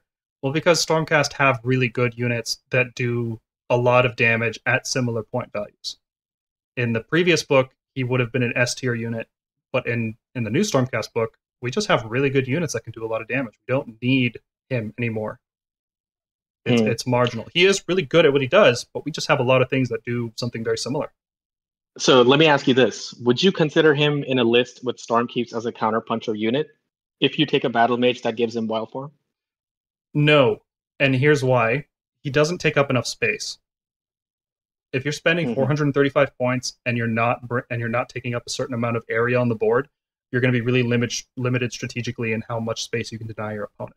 Like nothing will ever get close to Gotrek, uh, but they can just run past him. Yeah, They can charge that's true. past him. He, they can just avoid that sort of 12 inch corridor that he creates. Right. creates. You're Or basically even 12, losing two or three screens in order to bring him, or you're losing the space that four fulminators would take up. And space is everything in Age of Sigmar. The game is won by movement and just being on the board. Uh, In my in my opinion, the only reason you do damage to each other is that you can control the part of the board that they used to be on. That's a, that's an interesting way to look at it. And we'll talk more about it in our tactics video next week. Yeah. But yeah, that's I, I really that I just wanted to you know present that argument because he seems quite effective as a counterpuncher and he's a great fighter. There's no doubt about it. He basically carves wherever he goes. He will carve a 10 to 14 inch corridor around himself that your enemy has to avoid or they'll get wrecked. Oh yeah, If you your got, if your opponents are if your opponents are bad to where they don't avoid him, you will just wreck them. you gotta respect Gotrek. You can't go anywhere within his threat range. He will murder everything he hits. unless you hit him first with ten protectors. Then he can then he can die. Yeah, that, that's perhaps one of the only things too, because even Gargants like won't kill him. They won't do Yep. anything to him. Yeah. yeah. Um, uh, with regards to your question about a counterpunch unit, picture the amount of space taken up by ten protectors versus the amount of space taken up by Gotrek. Yeah. Just the physical space taken up, right? It's a huge difference. He's on a small 32 mil base, whereas you get 10 40 mil bases. Mm-hmm. Last Warden unit we are talking about here is the Grundstok Gun Hauler. I am a big fan of this unit. I liked it so much that I even put it in one of my initial lists for Stormcast because it is very similar to our Ballista, except it's it's got a little bit less rend, but it can teleport every single turn, and that is really really cool. To have a teleporting cannon just zipping around the board, shooting off rend two d6 shots, or you know you take the drill cannon, try to do some mortal wounds. I, I like it. I like it a lot. And if if I could fit more than one in my list reasonably, I would. Uh, my initial version of that list I put in our list video actually had two of these things flying around, but it got Yeah, it's a pretty pretty tight. pretty good costed well because at 155, gaining all that movement, like the ability to move 12 and also teleport. Or sorry, not not in the same time, but either 12 inch move or teleport if you'd like. It's just so good for artillery piece essentially. 'Cause Mhm. That's what it is. yeah. it's You, like oh you have to compare it to a ballista, and like for 15 more points, you give up one rend, but you get so much out of it. One of the main downsides of the ballista is that once you engage it melee, that's it. It's done. It's never getting away from that combat. It can't even retreat out of that combat now because with a three inch move, you you may like if you get even halfway surrounded, you're not getting more than three inches away from an enemy. So that ballista is just gone as soon as anything gets in melee with it. Whereas this guy just teleports away. He's fine. He's going to keep doing his job. yeah, and can you know to support his his combat isn't great, but uh, being able to drop a bomb rack on a four up do some mortal wounds isn't, isn't bad. Yeah. Like ballistas can't do that. Yeah. You know, you can cycle the storm ballistas, but you can't uh can't cycle these guys. So it's it's if you make the comparison to a ballista, this thing looks pretty good. I would put it in the B tier, uh, even though it can't benefit from any allegiance, and, and it's only useful if you have you know heavy artillery. If you're running a Lord it doesn't Ordinator. need it doesn't need to, right? Yeah, you just take a Lord Ordinator. Like if you're taking artillery, this should be you should be considering this unit as a Yep. two of or a one up. If you've ever used a ballista, just think, what if my ballista could teleport and you've got the gun hauler? It's got a decent sized base, so you can deny some space with it. Mm-hmm. And it's it counts as two models on objectives. That's true. Okay. Next up, we are talking about the Aelves. Elves, Aeoli, Aeoli, elves, elves, elves, elves. These are elves. Yeah, they Uh, first up, this is one I really like talking about. I think a lot of people don't recognize how strong it is. The Akhelian Allopex. I think I pronounced Akhelian correctly. I'm sure Players can correct me about that. Um, the main reason I like oh, this the guy, shark man. the main reason I like this guy is uh, the points and its unique effect. So 125 points means you get two of these guys for 250. And if you compare that to our Dracoths, that is, you know, shockingly similar because they have the same mount attack, threes and threes, rend two, two damage. It also has a second attack, six six attacks at threes and threes. So it's not it's not a slouch in melee by any means. Uh, but Yeah. instead of our really powerful fulminator glaives or our tempestor shooting, what you give up is it, you give that up. But what you get is a is a net launcher, which prevents pile-in moves if you get hit by it. You don't have to be wounded by it, just hit by it, which is an incredibly powerful ability. Not just defensively when you're using Unleash Hell, but if you're offensive and you and you're fighting a large unit, you know, two two uh, two ranks deep, and let's say ten models wide, like your opponent has a big reinforced unit, and Yeah. what you do is you hit it on the flank with a with a hammer unit, and you shoot it with a net so it can't it can't counter pilot. Like yeah, it, it's, it's an it's, it's really it's strong. yeah, that's an incredible ability. Yeah, yeah, and it's not just that, but it's like let's say your opponent groups multiple units close by to where let's say you want to drop Grand Hammer Annihilators into something, but you're afraid that once you kill that unit, the unit that's right next to it will pile in and fight. Just net them, and now they can't do that. Exactly. Yep. The, a very common strategy uh, as you as you get into higher levels of play is people will have counterattack units within three inches of their front line, so that if you charge their front line, you'll kill the screen and immediately you'll get counterattacked by by a good hammer unit. Stormcast do this all the time, especially with uh, protectors and their glaives, three inch range. They love doing that. Uh, but if you hit them with a net, that strategy doesn't work anymore. Sorry. So it's really Yeah, good on the offense and on the defense. Um, there's there's honestly nothing funnier in the game than getting charged by a unit of you know 10 to 30 models and you hit it with a net on the way in and then it's just stuck there. Exactly where it charges. None of the models get to pile in. It's great. It's a really strong ability. Um, problem is you know you probably want to bring two of these guys. So that's 250 yeah. points carved out of your list. Uh, they're not yeah the net launcher only has one attack so you yeah. could fail it because it's not a three up and it's not really worth using unleash hell like if strategically or sorry not unleash hell uh, all out attack if you really mm-hmm. want to ensure that it goes off, you bring two of these guys and you use uh, uh, all out attack. That's a lot of investment, but yeah, nothing else offers this effect this reliably. So it, it's it's a good niche that it's carved out for itself. Also, they're fast. Like yep. 14 inch move, and the net launcher is 18 inch range, so you're getting like 32 inch threat ranges on a flying unit, no less. Yeah, so and, good. and they're flying, so they can jump over initial screens. Like yep. the, the, these guys are are great if you wanted an excuse to use the Allopex, I'm I'm here to tell you that you got one. You can make a list that benefits these guys quite well. Now they don't get the Idoneth Tides ability, so they don't get to fight first. They don't get to re-roll. They don't do any of that. Um, and the biggest downside, obviously, is that stopping pile-in doesn't really mean much in a in a monster meta. A single mm-hmm. model not being able to pile in is is almost meaningless. It specifically has to be things that want to, you know, charge, kill something, and then fight twice can it works yeah. against that, but I wouldn't spend points to stop that. I would rather spend points to just put another screen in the way. So unfortunately, right now the Allopex is not seeing the right kind of meta. But as soon as the game shifts back into you know 60 stabbas or 15 heart 60 witch elves or, or, yeah two two blocks of 30 witch elves as soon as it goes back to that and it will it yeah. definitely will the monster meta won't last forever and as soon as we go back to that the allopex is is going to be there waiting Absolutely. No, I, this is a good unit. It just it just needs the right meta to function. Like if you're looking for allies, this is not the worst purchase. All right, next up, continuing the Idoneth, uh, we're going to look at both Eidolons. We're going to look at the aspect of the storm first. So, what are good things about this? It's a 12 inch flying move that's quite durable. He, he's a durable, fast flying beat stick. 12 mm-hmm. wounds, 3 up save, 5 up ward. These are beautiful stats. You would love to see this on all kinds of units and bravery 10 so it can heal itself.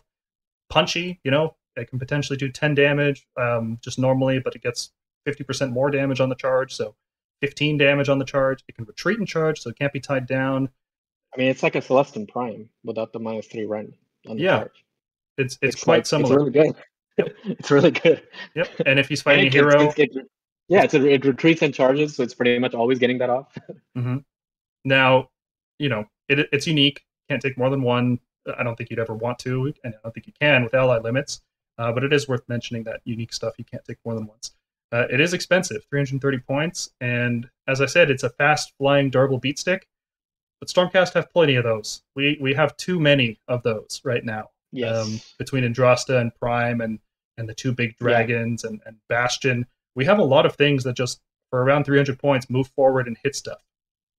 Mm-hmm. And uh, I think, oh, I th- uh, yeah, the thing that I really want to mention is like the 12 wounds, three up save, five up ward. Um, it's not a like, so I actually started using this guy end of second edition as a beat stick because our beat sticks were just horrible outside of evocators. Um, but yeah, given that now we have like four up ward save beat sticks at you know single single model beat sticks that is at that point level, um, he's fallen a bit in value, but he's still yeah. good if you have him, you can play him. Is what I'm saying. He's definitely playable. Yeah, I put him in D tier just because Stormcast have other units at those same points, uh, but mm-hmm. he's he's not that much worse than using a Celestant-Prime. He has some advantages over him being able to retreat and charge, always having five attacks instead of having to wait for it. There's advantages. Yeah, built in. He has a he has a built-in healing because every time he charges, he heals D three. Yeah, the, um, the charging healing after charging is probably the worst time to heal in this game. Yeah.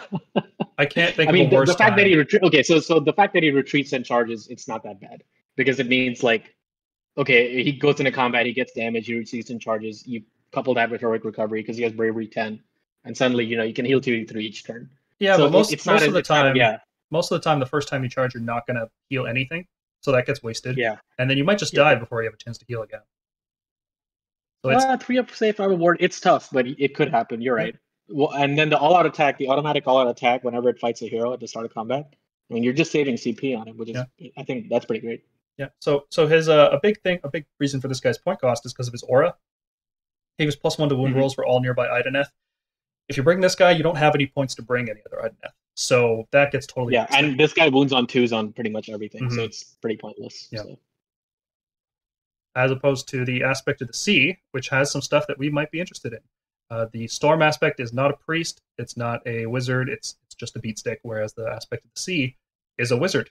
Uh, in fact, he is a two spell wizard who can reroll casting, unbinding, and dispels. And he's also bravery 10 with a plus three aura, which means he's always healing himself with heroic recovery because he's at 13 bravery Mhm. which is great. He has the same defensive profile as the aspect of the storm, uh, but with a lot more utility. If you want to get off Mystic Shield and Endless Spells, this guy is a really good choice for that sort of thing. And his Yeah. signature spell is quite good as well, right? 12 inch range, D6 enemy units, not just one enemy unit, but potentially Yeah, it's like a almost like an aura. yeah. Even if it was just one enemy unit, that's a you know a minus one hit spell. Sure, twelve inches isn't the best, but the fact that it's D six enemy units is huge. And he's not terrible in melee. He's got okay attacks, right? So this I mean, his his main thing is he he offsets the melee thing with his shooting because he has D three shooting attacks at threes and threes, minus two two damage at fifteen inches, which sort of offsets. uh, It doesn't fully offset the aspect of the storm's three damage on the charge, but it's something. yeah. This this guy just has a lot more utility. You don't have to just run him forward and hit stuff. Which, as we said, there's other units in our army that fill that same role. This guy is more. He's like a cheaper Krondys, I would say. Yeah, He's, he's a good wizard. but that's- he's uh, man, is he expensive? Three fifty five. Yeah, Mm. it's a big chunk of your army, and if you know if you're using him to get off an endless spell, you're also paying for the endless spell. Whereas what we could do instead is just take a cheap Lord Arcanum and have them cast the endless spell with the rerollable trait. So Yeah, he is, I would say, he's better than the aspect of the storm in a lot of our lists, but I'm I'm having trouble figuring out when exactly I would want to use him. Uh, he does a lot of good things, but I just I haven't figured it out yet. That doesn't mean he's bad. I quite like him, and he, he's definitely a C tier unit. He has some situational use. Um, Sea Elf is a C tier. uh, the C word. uh, aspect of the C. C tier. Good one. All right, next up on our Aelves, uh, we have the Vanari Shardstar Ballista, which right off the bat, I'm going to point out this is not a war machine. Yeah, it's like what what were, yeah, there was it, was it was like this was done. This is anti stormcast bias. That's what this is. There's no reason for it not to have the war machine. The only reason is because Lord Ordinator exists. Yep, they didn't want them allying that, that in. Yep. That's- that's And and frankly, we wouldn't because our ballistas are better. I think. better. Yeah, I think yeah, because it's D three damage. No, but okay, so it's two attacks at D three damage versus one attack at D six. But you lose out on a point of rend. So like with this one, so what's the what's the the dealio on that? Yeah, it, it's potentially if you're if you remain stationary, it's three shots at rend two D three versus one shot rend three D six. So it spikes higher with less rend, less accuracy because it's wounding on threes instead of twos. Um, yeah, it's it's comparable to our ballista, and what puts it over the edge is that it's only five wounds with a five up save, so it's way squishier than our ballistas. Oh yeah, it'll die to any counter. by Yeah, fire. Yeah, it has that dazzling bolt for minus one hit, which is a nice ability. Uh, but the problem is, our ballistas are just better than this thing, right? And our ballistas aren't aren't the hottest units right now. yeah. The, the the thing is like this thing is like costed one twenty five. Our ballistas are what one thirty.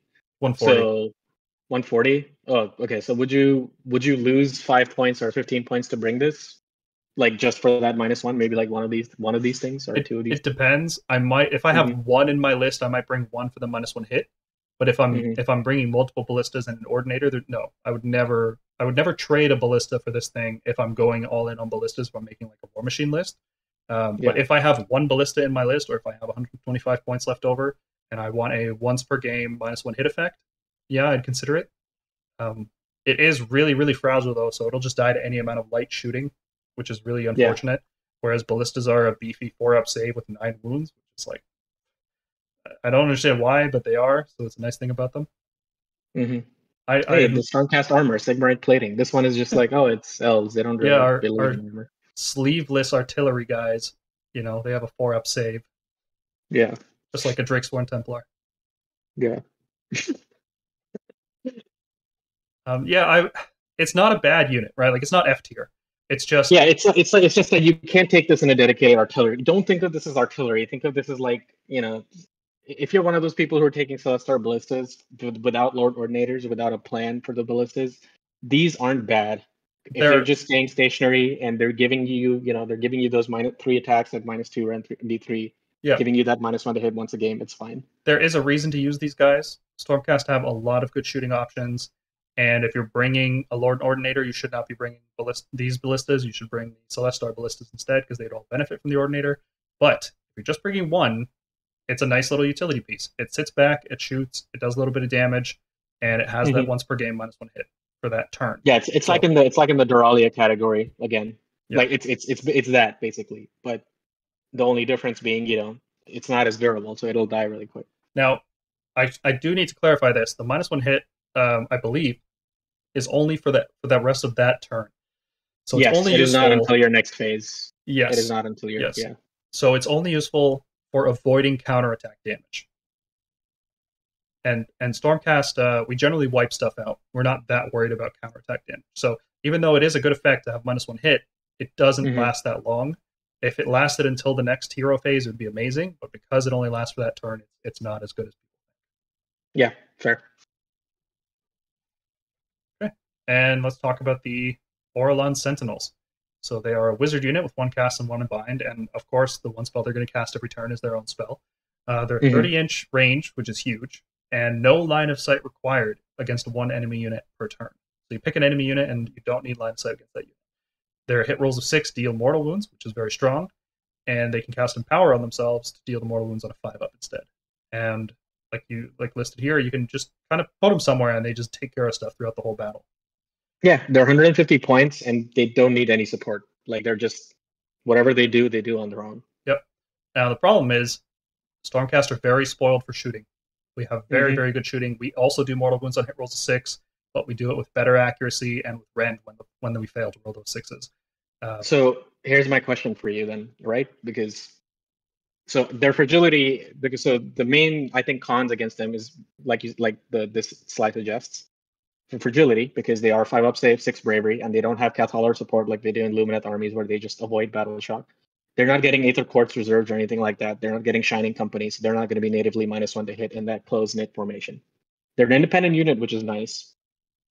But however, from 30 inches away, you can fire 20 shots for 300 points, whereas that would cost you 400 points with Judicators. Is that is that 100 points more worth it, or does that create some interesting? well, you can double tap the adjudicators, right? I'm sorry.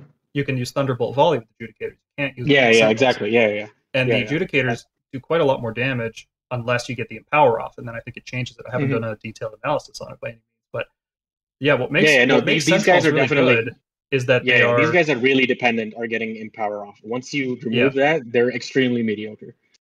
Yep. Um, even in Lumineth lists, like uh, for those of you who haven't played what they're doing, what they typically want to be doing is they want to get empower off. They want to get you know Cathallars supporting their battle shock.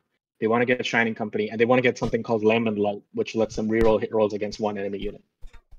Yep. And also, uh, and this part's crucial, you can only bring 20 max in the Stormcast army.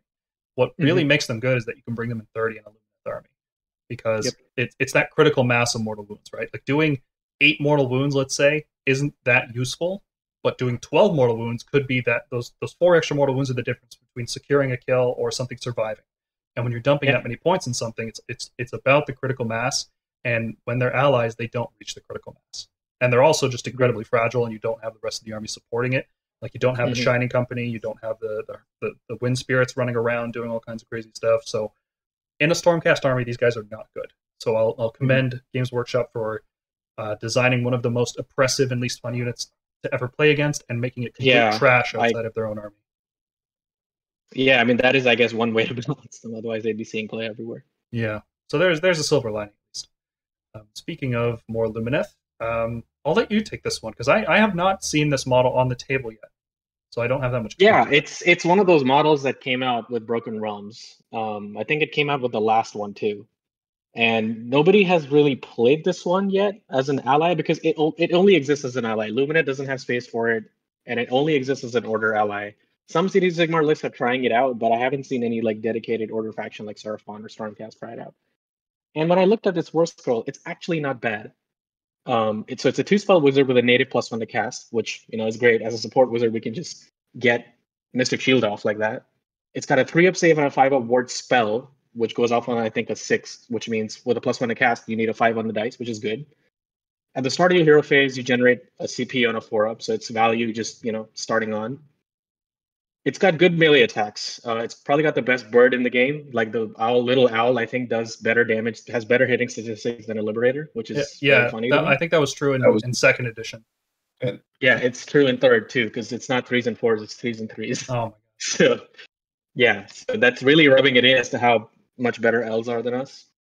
Um, and the main thing to like about this is it's got so it's got two attacks in other or in melee that are like threes and threes minus one d three damage. That's always on. But the main thing is the um, Elithar's sword, which is four attacks, twos and threes, so it doesn't need all out attack, minus two rend, and then the damage scales depending on which battle round you're in. So in the second battle round, which is the time when you're most likely to get this into combat, it's going to be doing two damage. And then in the third battle round, three. In the fourth battle round, four. And that accumulated value in combat, given how tough it is, because it's eight wounds, three up save, and you're almost always going to do the five up ward spell if you can on this. It's not bad. I think it's for a support hero that generates value through spell casting, through CP generation, and gets better at fighting as the game goes on. It's pretty good. Okay. Um, the, the only caveat that I don't like is there is a forced translocation caveat. So if this model fights, then at the end of the combat phase, you roll a dice.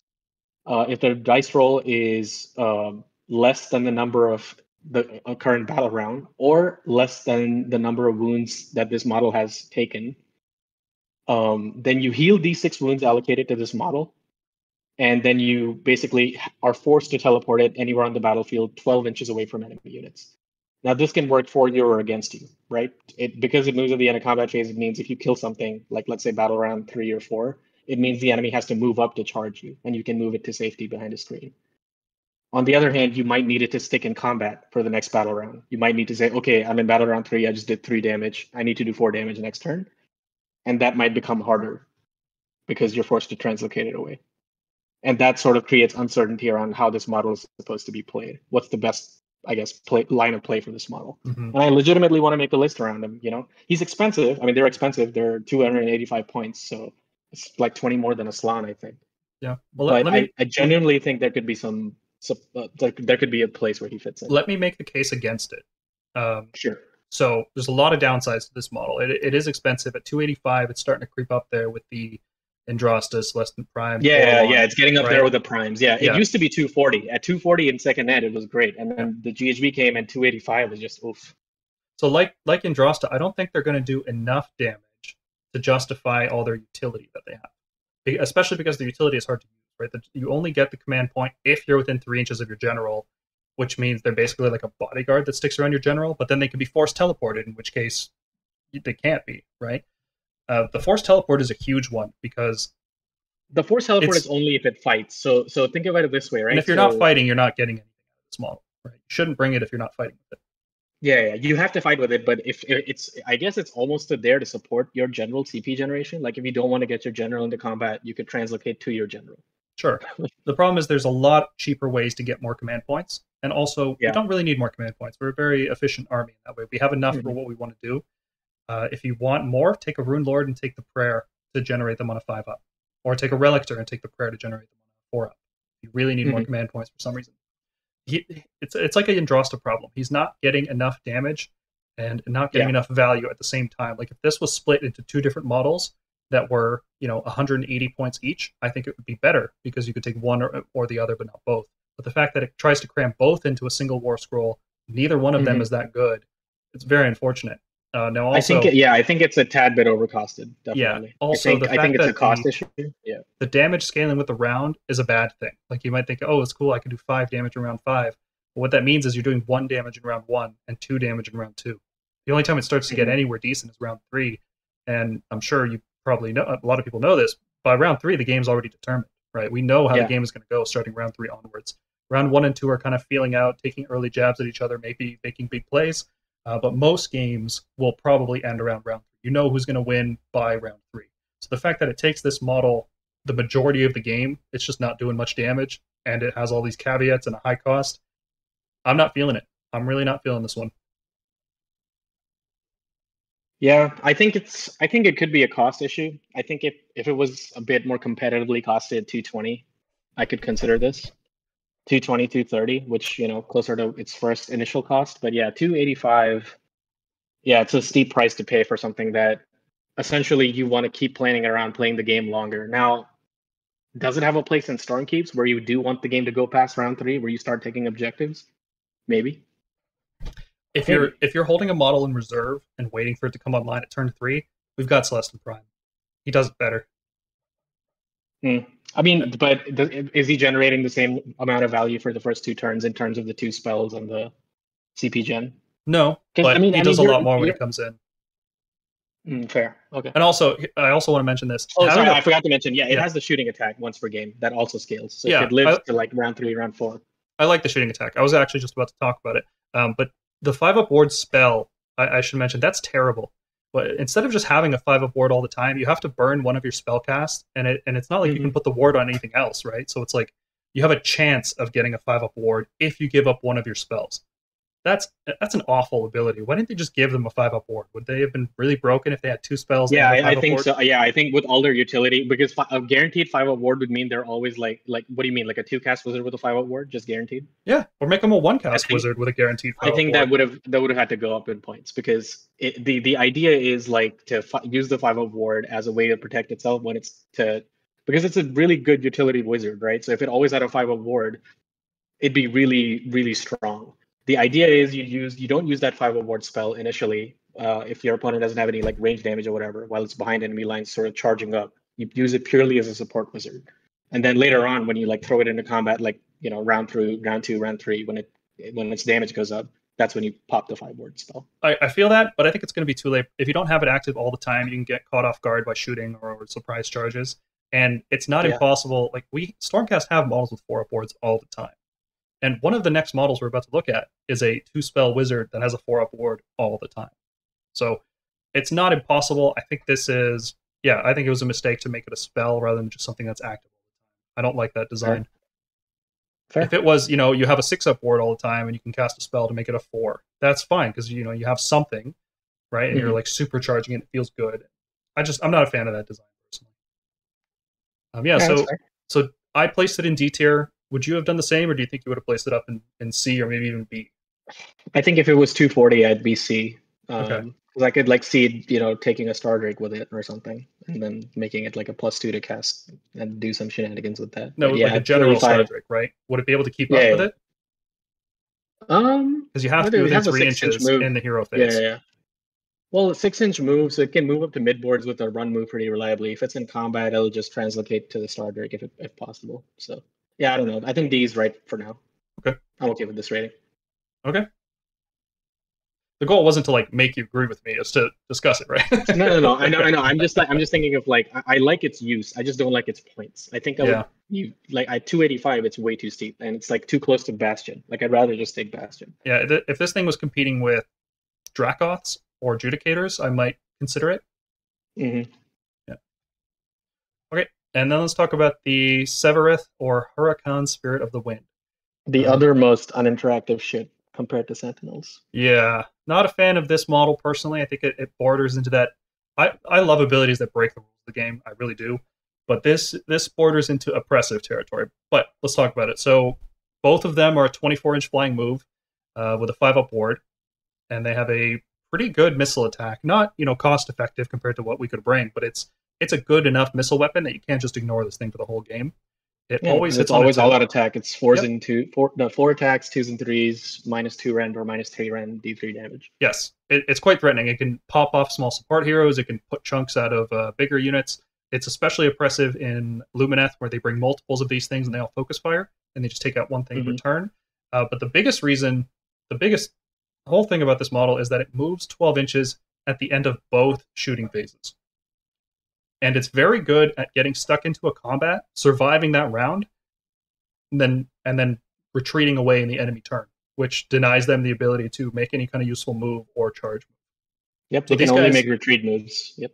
Yeah, so these guys are are really good at just shutting down enemy armies. Now, in a in a Lumineth army, you can have multiples of these guys running around and playing the whole field. In a Stormcast army, you can only bring one max because of ally limits, so you could potentially just shut down a flank You know, no Chaos Knights, uh, no Chariots, nothing's getting across that flank because this thing is sitting there guarding. And the whole time it's shooting damage into key targets. Yep. Um, yeah, I think, God, like the fact that it's so good as a Stormcast ally should speak to how impressive this is because it's not even getting the Hurakan battle traits, which, for those of you who don't know, in Lumineth, uh, all Hurakan units get a six inch pilot. And these things have three inch range in combat. So, what Lumineth players like to do is they charge it in, um, and then they hit you with that minus one to hit. Um, then they pile in 2.9 inches away because they ignore all pile in rules, so they don't have to pile in to the closest units. They can just pile in however they want. And so they, they are basically exactly 2.9 away. They reduce your pile in, which is for most units is three inches to one inch. So you can basically never fight them unless you have a large part of your army on like three inch range attacks or something. And then, like Paul said, retreat in your turn. So it, effectively, it's like a back and forth where you're not just you're just making constant retreat moves and not even playing Warhammer while they lock you down and kill your army slowly. Yep. And even if you are able to retreat and charge, because these guys make the move in the shooting phase after you've moved already, and they have fairly large bases that they take up a lot of space, they can just mm-hmm. walk away. Yeah, you can't catch them. So a lot of people say that uh, you know they only have a five up save, they only have eight wounds, they have or seven plus ten, but, uh, and they have a five up ward, so they're you know you should be able to just kill them. You will never catch these with a melee unit, not even through deep strikes. Your best hope is range projection. If your army doesn't have that, you're gonna have a tough time against these things.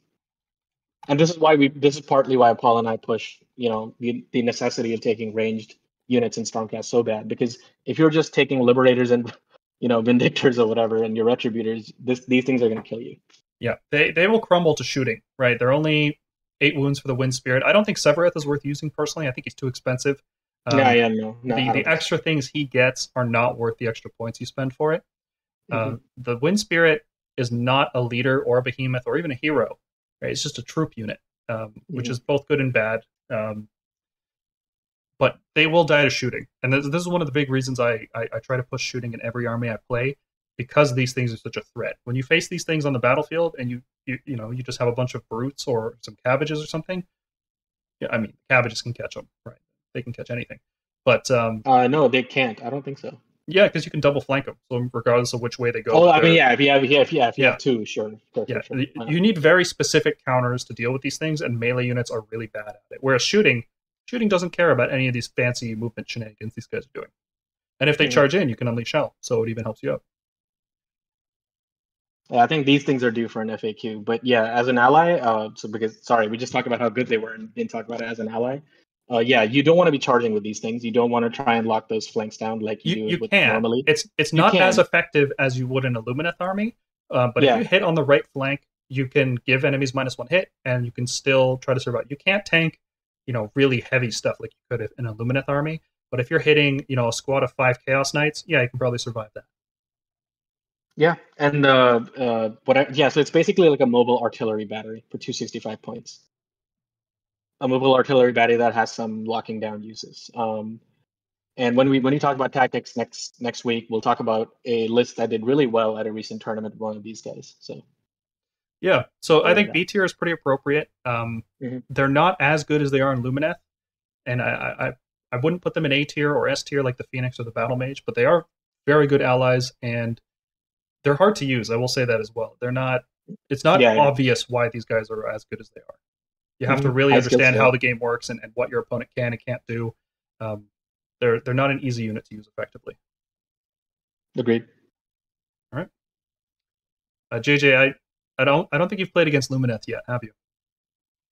Only games I've played against were STD, Seraphon, and uh, Ogres recently. It is a it is a different kind of game when you play Lumineth. They're oh yeah they have their own rule set. You're playing a different game when you play them. Yeah, I had uh, recently at my FLGS, I had somebody who was looking to play a game this Friday, and uh, I offered to do so. But then when I heard that they were running LRL, I was kind of just like, I'm well, gonna catch painting. okay, I hate that it's come to that. Right, that everybody talks so negatively about them that it's turning people off from playing about them. I don't want to derail the whole video about it, but I, I you should play against them. It's not not that bad. In the competitive scene, it's a lot worse, right? It's a lot worse mm-hmm. in competitive games. In friendly games, it's probably fine. I will say it's just really hard to play against Lumineth when you're facing a very competent player. The rule set of that book makes it really difficult. Yeah. All right, section four, Seraphon. Uh, this is near and dear to my heart. Seraphon are my main army, despite the fact that I host a Stormcast podcast. Seraphon are still my main jam. They're always going to be my boys. Um, Wow. So I like them a lot, and let's talk about them. Uh, so the first one is the Slann Master. He is a three spell wizard with plus one to cast, unbind, and dispel, and you can combo that with Star Drake for a plus two to cast. You can unbind and dispel anywhere on the field. Doesn't matter. You can be in one corner, and the spell can be in the other corner, and you can try to unbind and dispel it. Um, he is a very good wizard if you just want to cast endless spells in Mystic Shield. And his signature spell, Comet's Call, has unlimited range, and it just does D3 mortal wounds to a bunch of units. So throughout Yep. the course of five rounds, this guy is great. He's going to chip away at a lot of things. He's going to, you can do some focused fire with it. It's great. And on top of all that, he generates two command points in your hero phase, each on a four up. So that's just Yeah, that's a really lot. strong. That's a lot of value for 265 points. Like if the rest of your army is focused on really specific things, you can spend 265 and get a pretty good wizard. Uh, now the downsides, it's 265 points. You could be bringing Dracoths, you could be bringing Paladins, Judicators, Raptors, all kinds of things. Um, and the biggest downside is that he has three spells, but if you don't bring an endless spell, all he's casting is Mystic Shield, Comet's Call, and Arcane Bolt because he can't learn any of the universal spells as an ally. So he's really a two spell wizard that you can pay points to make a three spell wizard, which is kind of kind of lackluster. Uh, Yeah. he- he's very slow. He's not a fast boy, and he's and he's fragile. You know, for 265 points, you're only getting seven wounds. It's not great, Mhm. and uh, he gets sniped off pretty easily unless he has his bodyguard around him, which are just more points that you're dumping into this what should be an efficient wizard. Uh, you don't want to put him anywhere near combat, right? He's he's he has six attacks uh, with Rend one, but you don't want him fighting, and uh, it takes a lot of time to get back the points that you spend on him because Comet's Call and, and Mystic Shield are they only go so far. Yep. So the Slann Star Master is good. He was better when we had the Realm spells in second edition. I loved having Realm spells. I hope they bring that back. He can, you know, he can do Metamorphosis every turn to turn something into a monster. How useful is that? I don't know. He he'll usually end up just casting him, turning himself into a monster, but you don't want him near melee. So why bother? Yeah. right? Yeah, I mean, uh, yeah, anything that's big in our army is normally a monster anyway. I guess you could turn a Yndrasta or something into a monster, but I don't know. Yeah. There's you know niche battle tactics used, but it's nothing a normal wizard couldn't do. Right? Mhm. He's just a very efficient three spell wizard. So he's good, but there's limitations, and and for his cost, maybe maybe not in every list. Yeah. might even be better just to run two Incantors, honestly. But I like him. I like this Slann. The the generating command points is a big thing that's underlooked. You can do a lot of really wacky stuff. If you have extra command points, you can do redeploys and Mhm. extra unleash hell when you wouldn't normally. So Yeah, it, be- it, it- yeah, accumulates value, especially if you take a Star Drake random, like being able to be like, okay, and just throw away this command point on an Unleash Hell on that Star Drake's like uh, Rend 3 2 damage attack. It's pretty good. Yeah, he's, he's a value machine. Do we need value? Maybe, maybe not. Right now, the game is so fast paced. Games are typically decided by round three. I don't think you get enough value out of it. But if the game does hmm. slow down, we'll see. Yeah. In contrast to the Slann, is the Skink Oracle on Troglodon. So he's he's also a wizard with plus one to cast, unbind, and dispel. He only casts one spell per turn, but he has the Comet's Call spell just like the Slann. So and he costs the same amount. So you compare him to the Slann, and instead of getting an extra spell, because realistically you're only casting two spells a turn with the Slann, you get five wounds and a monster body. And you know, pretty pathetic melee, but a monster body, right? Really good for battle Yeah. tactics. Um, yeah, And he heals uh, automatically on the hero phase, which is yeah, on a two up. Uh, he, I don't think he actually generates command points. I think that's a typo. So please ignore that. I, Uh, yeah, yeah. I don't think he generates command points. Um, he can reroll charge if if his shooting attack does damage, but it usually doesn't because it's D3 shots and no Rend. So good luck with that. Um, Mhm. Like the Slann, he can't learn any spells. His damage isn't great. Um, only bravery six, so you're not going to be doing any re- heroic recoveries with him. Uh, yeah, it, it, it would be an alternative to the Slann. Like if what you're bringing the Slann for is Comet's Call, this guy is is a monster with Comet's Call. That's his niche. So, yeah, that's not bad. Yeah, it's Is- only 220, so I think two, that that might be another typo. It's not 265. It's like I think. Is Are you sure? I thought it was Uh, 265. Oh yeah, you're right. No, no it's two, actually 270. Yeah, you're right. Oh, 270. Okay. So Mhm. five points more. My two mistakes and one slide. I'm getting sloppy. Um, yeah, so if you value the Slann, if you think it's a good choice, consider the Skink Oracle on Troglodon because it's a because the Slann is not casting all three of his spells every turn. This guy is not bad. It's a But- good fine alternative if you want, want some monster tactics. But yeah, Yeah. this is this is the real unit that I. Yeah, this is this guy is great. Um, so he does generate command points on a four up. The reason you want to bring the Skink Starseer is because of his signature spell, which you pick an enemy unit within 18 inches and you give it minus one to save rolls. That's insane. That's an insane Yeah. spell. Krondys has Yeah. that, and he costs 600 points. Yeah, But here, this guy costs 145, and he generates you command points while he does it. Yep. Awesome. I God, mean, it it's is. so good. Like it's it basically increasing rend across your army when you hit that unit. Yep. And and Stormcast have good volume fire with low rend, like crossbows, or maybe you Yeah. just want rend three raptors. You know, Yeah, It's- why not? Like or rend two judicators. Why not? yeah, giving Yeah. one unit per turn minus one save is incredibly strong in third edition. In second edition, it wasn't that strong. There were more units on the board. Focused fire was generally in the overkill variety, so giving it, you know, force multipliers were so plentiful that a minus one save roll wasn't as valuable as it is now. Uh, but especially these days in the save stacking meta, and the fact that this happens in the hero phase, which means you could Thunderbolt volley at minus one, Yeah, they don't have a chance to all out defense. Um, yeah, you can stack this with all kinds of stuff. You can stack it with Krondys, you can produce enemy save rolls by two. You can hit them with a Geminids to deny all out defense, effectively giving your units rend three against them. Because Yeah. anything that you're you're stacking that much on, they're going to want all out defense. Um, Yep. Yeah, he's great for 145 Great points. unit. Yeah, that's value for 145. Totally value. Absolutely. Yeah. And another little piece of value he has here is that he can give a Seraphon unit a 3d6 charge. Now he's only he's 145, so the additional Seraphon units you bring have to be pretty cheap. Mhm, They and have we'll to be We'll talk about yeah one. 250. Carnosaur. you could bring a Carnosaur. I don't see the, the problem with a lot of Seraphon units is that all of their strength comes from their allegiance abilities and their Yeah. their synergies with each other. Their war scrolls yeah. on their own are not particularly impressive. Uh, like Carnosaurs can become kill monsters, and Stegodons on Skink Chiefs can just stack all these buffs and get tons of attacks and do tons of damage.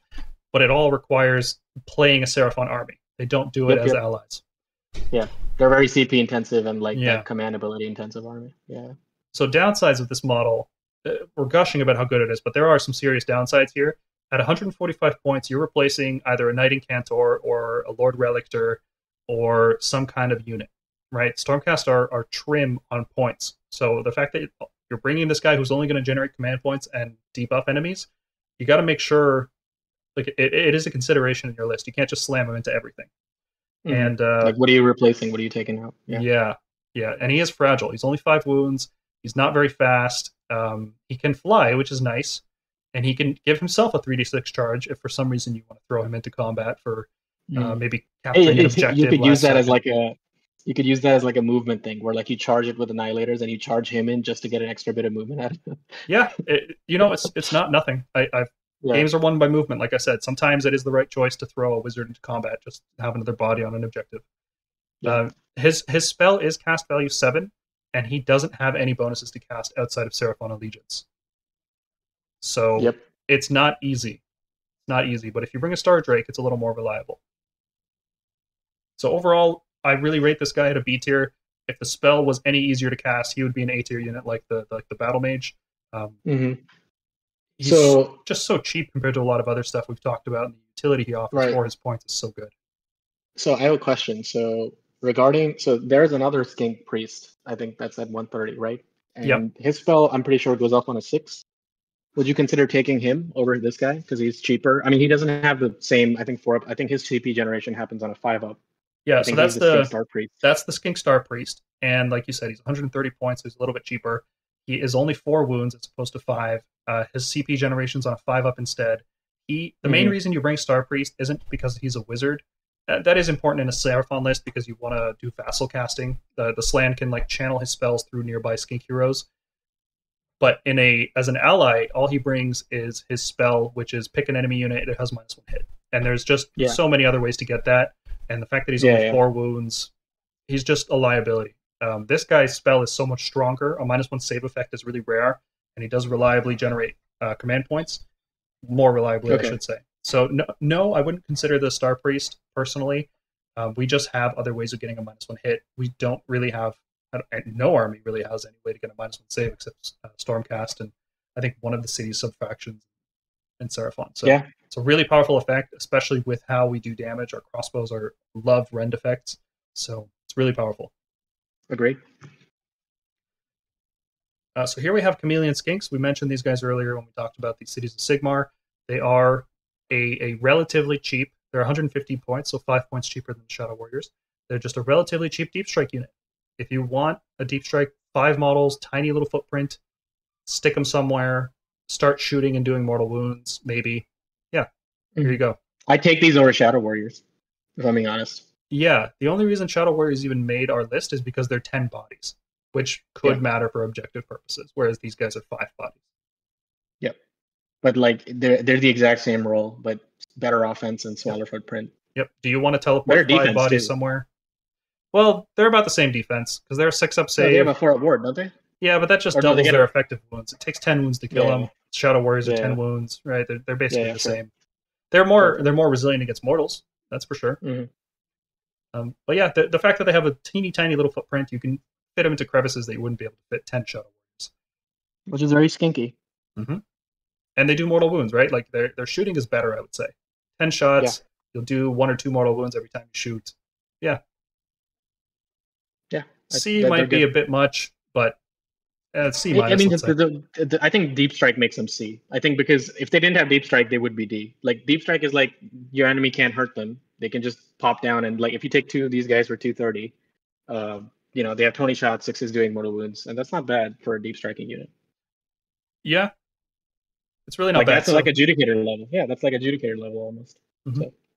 yeah, that that is judicator shooting pretty much for a little bit more price in exchange for deep strike native, I guess. Mhm. But we're not hurting for deep strike, so this is specifically. no, yeah, yeah, I- yeah, I'm, yeah. I'm just saying, like, yeah, for like deep strike shooting, it's it's it's it's not a bad use. Like Stormkeeps, I would take them. Yeah. I would- I would certainly consider them. Um, should be pointed out, the models are really old and really bad, and they put out a really sick model in Underworlds for Chameleon Skinks. So hopefully they're due for new plastics at some point. Yeah, me too. I'm actually that's what's stopping me from starting Seraphon is the sick amount of resin in that range. Yeah, they're one of those armies that still has a bunch of resin, unfortunately. Speaking of which, the Razordon Hunting Pack. So let me make the case for these guys. They are cheap. They're only 95 points for 2d6 shots. They are on threes and fours, which is you know most of our shootings on threes and threes. Um, so threes and fours is isn't good. Uh, but just like you made the case for the Vendenced, sh- she could fill little slots in a list. Razordon Hunting Packs can do the same thing. They're a four up save, just like a lot of our Stormcast shooting. Eight inch move, 18 inch shooting, so they're a little bit faster. Uh, 18 inch shooting is, is our lower end of shooting, uh, but when you when you stick it on an eight eight inch move, it's not that bad. If they get within six inches of an enemy, they get rend one. And the most important reason, the coolest reason I should say, is they have this ability called instinctive defense. And how this ability works is at the end of the charge phase, if they had, if at the start of the charge phase there's no enemies there, and at the end of the charge phase there are enemies in their face, they can shoot. They can shoot 1d6 shots. So you can shoot in the shooting phase for 2d6, and then shoot in the charge phase for 1d6. Now keep in mind, in the charge phase, if you do an offensive charge or they come to you, they both work. And you'll be within six inches of the enemy, so you'll get rend on that shot. And in the charge phase, your opponents can't use all that defense. And Wow, that- and That it adds up, stacks yeah. with Unleash Hell. So if you Unleash Hell with this unit, and then you use the Instinctive Defense, you're doing 3d6. And the Instinctive Defense is not at minus one either. interesting. Then, once you get into melee, these guys hit like Dracoths. They have three attacks at threes and threes, rend two, two damage. Wow, for 95 points, huh? Not Yeah. bad. So take two of these guys, reinforce it. 12 wounds at four up, 46 shots in the shooting phase, 2d6 shots in the charge phase, and six Dracoth attacks in the combat phase. So compare them to Judicators, compare them to Tempestors, compare them to a lot of other Stormcast units, and they're not looking bad, right? They are on threes and fours. I got to mention that again. So they're less accurate. They're not to, even with the same number of attacks, they're they're they're not to pump out as much damage, and they only get rend within six inches. But for 180 points, they're they're a nice versatile unit. They do a lot of damage in a lot of different phases. They have a lot of utility in their unleash hell potential. And mm-hmm. if you have a Star Seer in your army, these guys can have a 3d6 charge. Oh yeah. wow. Eh, yeah. And high volume shots with a Rend debuff combo really well together. Especially because you charge in and start hitting them at Rend 3. It's surprising all that combo is available all sub 400 points. That's Yep. pretty amazing. Actually. And the best part is that the skink handlers that fly around them, they're basically just extra wounds. So this unit, all three handlers have to die. Well, they don't have to. You, you can choose to kill all three handlers before you take any wounds on the Razordon. And the Razordon Yeah. is three wounds, so it takes six wounds to kill one of these guys.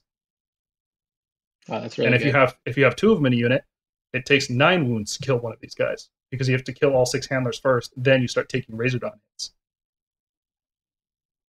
pretty good. Yeah. Now, unfortunately, they're bravery five, so as soon as those skinks die, the Razordons are just going to run away. So Hey, that's why you bring the Star Seer, so you can just use that extra CP on Bravery. there you go. Even more combo.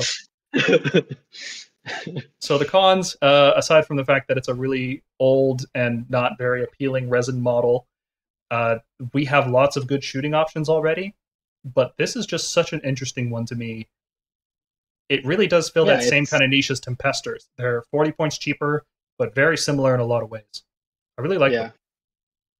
Yeah. Not a bad. Yeah. I, there's resin, so I wouldn't buy it, but No, and if I, you're happy, you they're can try them. they're really expensive each. I think it's like 30 bucks. 30 bucks each. Yeah. Yeah. I wouldn't get them. Like- if you happen to be a Seraphon player and also play Stormcast, you can consider using the Razordons and a Star Seer. I really like that combo together. All right. Penultimate section here, the Sylvaneth, which are not elves or elves or, or any of that. They are a completely just different thing. now. Different thing. All right. They're not Yeah. elves. Don't even want to see it in the comments. First up, the Warsong Revenant, introduced in the Broken Realms. He is a two spell wizard with a minus one bravery aura, which is, you know, we don't have bravery auras anymore, so that's kind of cool. Uh, but it's seven wounds and a four up ward, effectively making him 14 wounds all the time. And he can Mhm. get cover and lookout, sir. And he has an eight inch flying move. And unlike a lot of other allied wizards, he knows every spell from the Sylvaneth lore, which gives him a lot of versatility. So he can Mhm. cast a Throne of Vines, which gives him bonuses to casting until he moves, and then he can start pumping damage with his uh, signature spell, which does damage based on the cast value. Then he can also heal himself for d6, and he can do an anti-horde spell. He's got a lot of versatility. The other spells aren't great for, for our purposes, but uh, this is a very versatile allied wizard that we can bring in. Yeah. Bad Downsides, part is expensive and you, uh, yeah, Yeah. you can't uh, do anything. Yeah, uh, the only way to, to use the Verdant Blessing spell is to use the Sylvaneth Allegiance. Allied units, even if you know every spell in the Sylvaneth lore, the spell that creates woods is not part of that lore, technically. It's just outside of Like, literally, if you look in the book, it's it's physically higher than the lore, so it's not part of it, so you can't use it. Uh, he is Mhm. kind of fragile at a 5 up save. He's just going to take damage very easily. So even though he's effectively 14 wounds, he's he's just taking a lot of damage with a 5 up save. And even though he's a He, he can die wizard- easily. Yeah. yeah. 275, I think you can do better, uh, but there is just a lot of versatility in this, and, and I like the War Scroll. Yeah, Maybe- Maybe I'm just, you know, rose tinted goggles, Stormcast Wizards are so bad that anytime I see a two spell wizard, any like, yeah, look at that. hey, that's fair. Yeah. Hey, I mean, he's like, I don't know, because he's about the same as Ellania and Ellathor.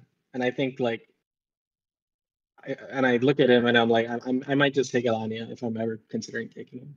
I can see that. Yeah. He's not bad. C might be a bit high.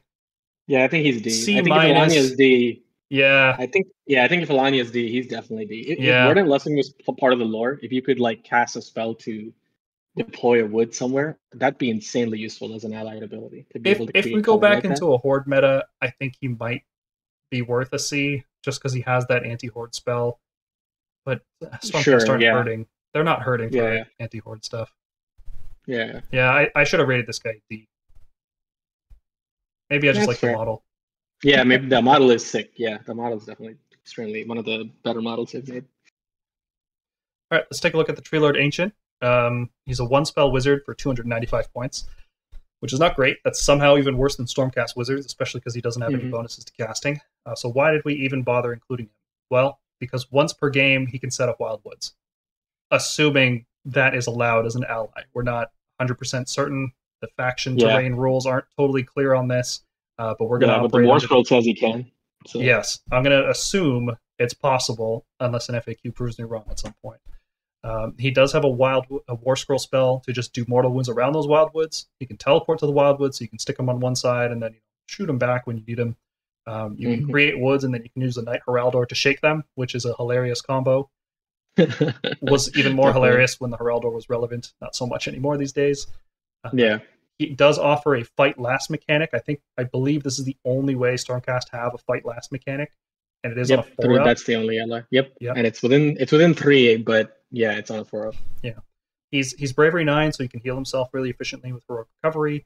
He's durable. He's a three up save. He has a he has an all out defense command ability basically, so you don't have to all out defense with him. You can use on another unit. And he is a hero Mhm. monster wizard that's durable, so for certain battle plans that's really useful. Uh, but he's he's slow. He's expensive.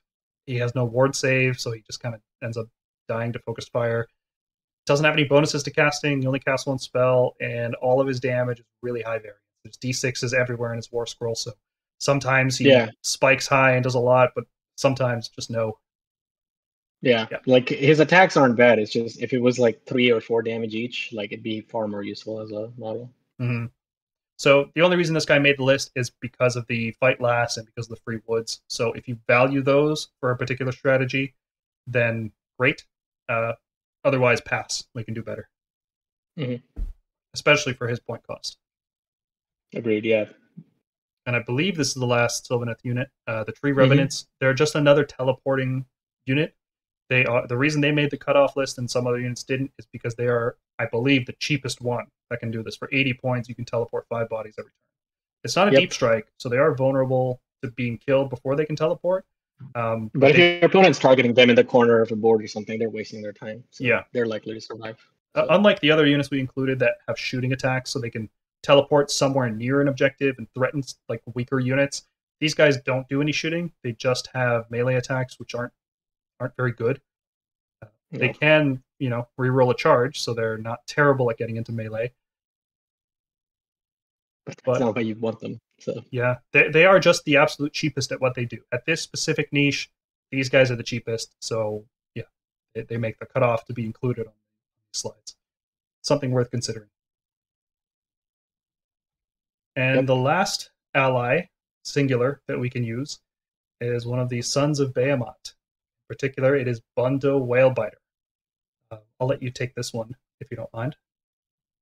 Uh, okay, so uh, Bundo Whalebiter is a mercenary. Um, so he basically sort of disregards that allied point limit. And this thing is essentially a big beat stick. It's a Kraken Eater Mega Gargant. So it has the ability, which I think is probably one of the best abilities in the game, especially for that faction, which is you can kick an objective 2d6 inches. And that's why I value him. So if you're a highly elite army and you're worried about, you know, you don't have anything, I guess, you don't want to maintain the control of your backfield objective or leave a unit behind, you can just kick it forward.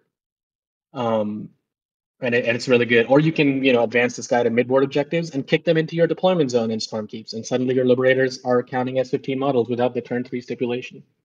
His special ability as a mercenary is that he can fight last to reroll all hit rolls in combat, and he has some model sniping ability similar similar to uh, Cavernous Jaws, uh, where you pick D3 models and then you uh, roll double their wounds characteristics to instantly slay them. And it's just a beat stick, so it's got a bunch of two damage attacks, a bunch of D3 and D6 damage attacks, um, which is good. Um, the bad is that the reason you take Gargants, or the reason anyone plays Gargants, is for the Mightier Mix right here, which makes them count as 20 models or 30 models in a Taker tribe.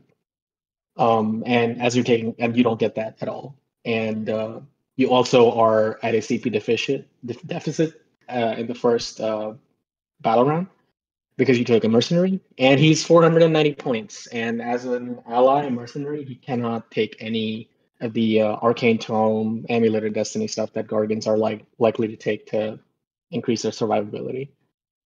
Yep. And so he's just not a good use of his points for a beat stick that can move objectives around because Fulminators come in at 460 and they absolutely wreck him. Yep. But I, I gotta say, kicking objectives for redeemers on Stormkeeps hilarious. That's one of the best Oh, yeah. interactions in the entire game. Yep. Even if you kick an objective one inch, right? If it's on the border between two territories, now all of your liberators are are three dudes. That is Yep, such a hilarious like- interaction. That yep, that is that is the definitely the best combo this guy has uh, is in Stormkeeps, where you just move him up 12 inches, you take an objective, and they don't take it away from you, so you can just kick it back and be like, okay, now you basically can't get it. I, I wish every battle plan had one objective that was between two territories like that.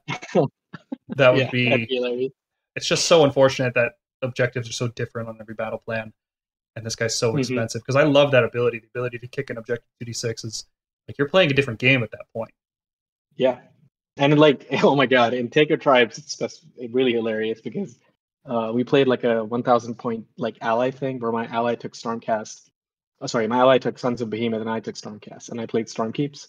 And he took Taker Tribe to kick the objective 3d6 backwards, and then I put my Liberator on it, and it was like, okay, fantastic have fun winning this game, guys. yeah that's such a cool effect. I, I really hope they're more inventive going forward with some of their abilities. Like i really hope third edition doesn't kill off abilities like this because it seems like they're moving towards standardizing a lot of stuff. They got rid of Mhm. spirit flasks. They they just changed a lot of things. There's a lot less unique stuff. And i yeah hope it's it's it's yeah i hope they keep yeah interesting abilities like that. I i i- i hope it's just or maybe i don't hope. I guess they want to they want to do it because stormcast is technically quote unquote the starter faction even though in my opinion it's one of the more higher skill stealing factions but uh yeah that that's why they don't want to do complicated stuff like that but Uh, eventually I, I suppose they will I also want to point out that I love that it's you kick the objective. You don't push it. You don't you know move it. You don't grab it. You kick the objective. That's just such great flavor. yeah yeah it's not bad All right, That wraps up all of our allies. Right? Nothing else after that. Yep. Nope Um, do you guys think we missed anything? You can tell us. Uh, we spent a lot of time talking about this before setting up the slides. We thought what's worth including, what isn't.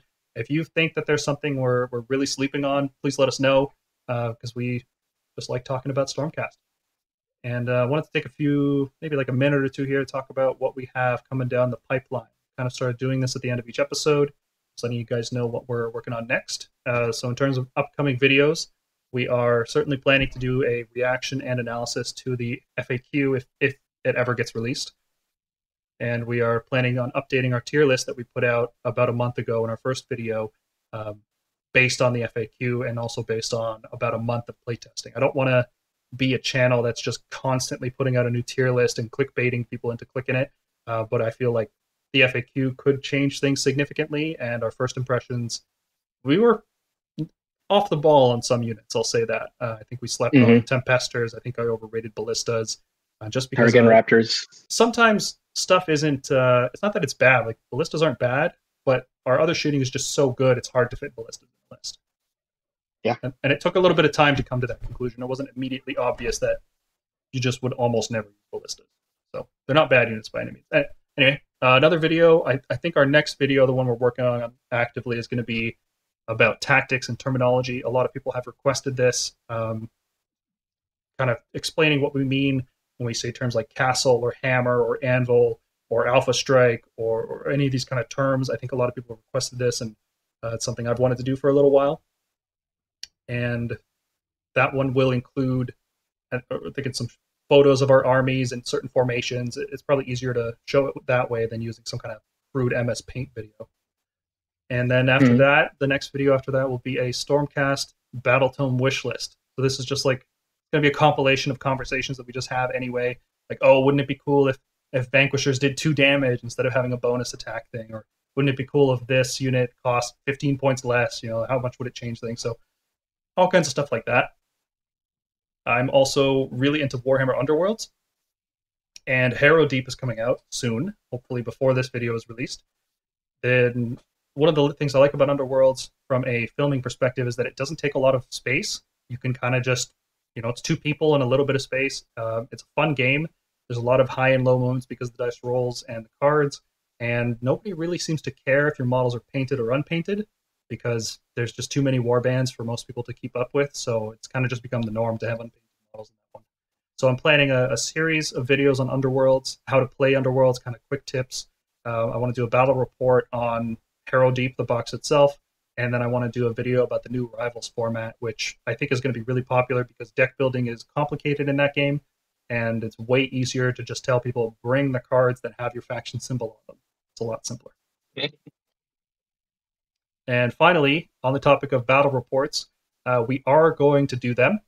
We are going to call them the Gladiatorium series, named after the mythical arena that Sigmar uses to train his Stormcast. It's not just going to be Stormcast versus Stormcast. Uh, we have a number of armies between us. Uh, we're working on getting the audio and visual equipment that we need for that. It's not as simple a process. I don't want to just use a hand camera and have it look really unprofessional. I want to I want to make something something that's nice, right? And yeah.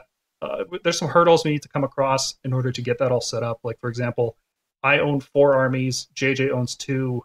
Mergank's not in the same country as us. So we're kind of limited on how much we can do just between the three of us. So we'd have to invite some guests in the area, and that it requires time and coordination to set all that up. Uh, we also need mm-hmm. a bigger space than I currently have available to play and record. I don't want people seeing an unfinished basement with a bunch of cobwebs. You know, it's not going to look good. So we got to spend some time setting up a stage, so to speak. And more so than what we would need to play Underworlds. Underworlds you can play on a coffee table. It's great for that. And we are considering uh, setting up a Patreon type account. I'm not sure if it's going to be Patreon or Subscribestar or one of those other services. Uh, some people have even expressed to us that that they would be willing to help us get funding for that sort of thing. Uh, we put a lot of time into this podcast, um, uncompensated, let's say, and it would be nice to get a little bit of uh, income for the expensive equipment that we would need to get in order to get battle reports set up. So that's not. I don't. We haven't fully ironed out all the plans for that, but I just wanted to mention that we will be thinking about setting up something like that. In terms of community events, uh, up next, we are also planning on doing a list review video. And that series, we want to make a regular series, which we're going to be called calling the Lords of the Storm, which is an, a, a term that the Stormcast use for the, I, I, believe it's the Council of Lord Celestants and their and their advisors. I have to double check that. I'm not a big lore guy. Um, we're going to be opening up list submission for that about two weeks before the episode goes live. There's going to be a new channel created in the Discord. Everybody can put in the list. The community votes on the ones that they want put in the podcast, and of those, the top two uh, go in the in the podcast along with whatever we've been cooking up lately. Um, I really like doing that first series that we did. Just talking about lists is a lot of fun. Mm-hmm. Uh, JJ, you want to talk about the painting and hobby nights? Yeah, so uh, since we recorded this video, we've actually had our inaugural uh, hobby night, and it was a pretty good time.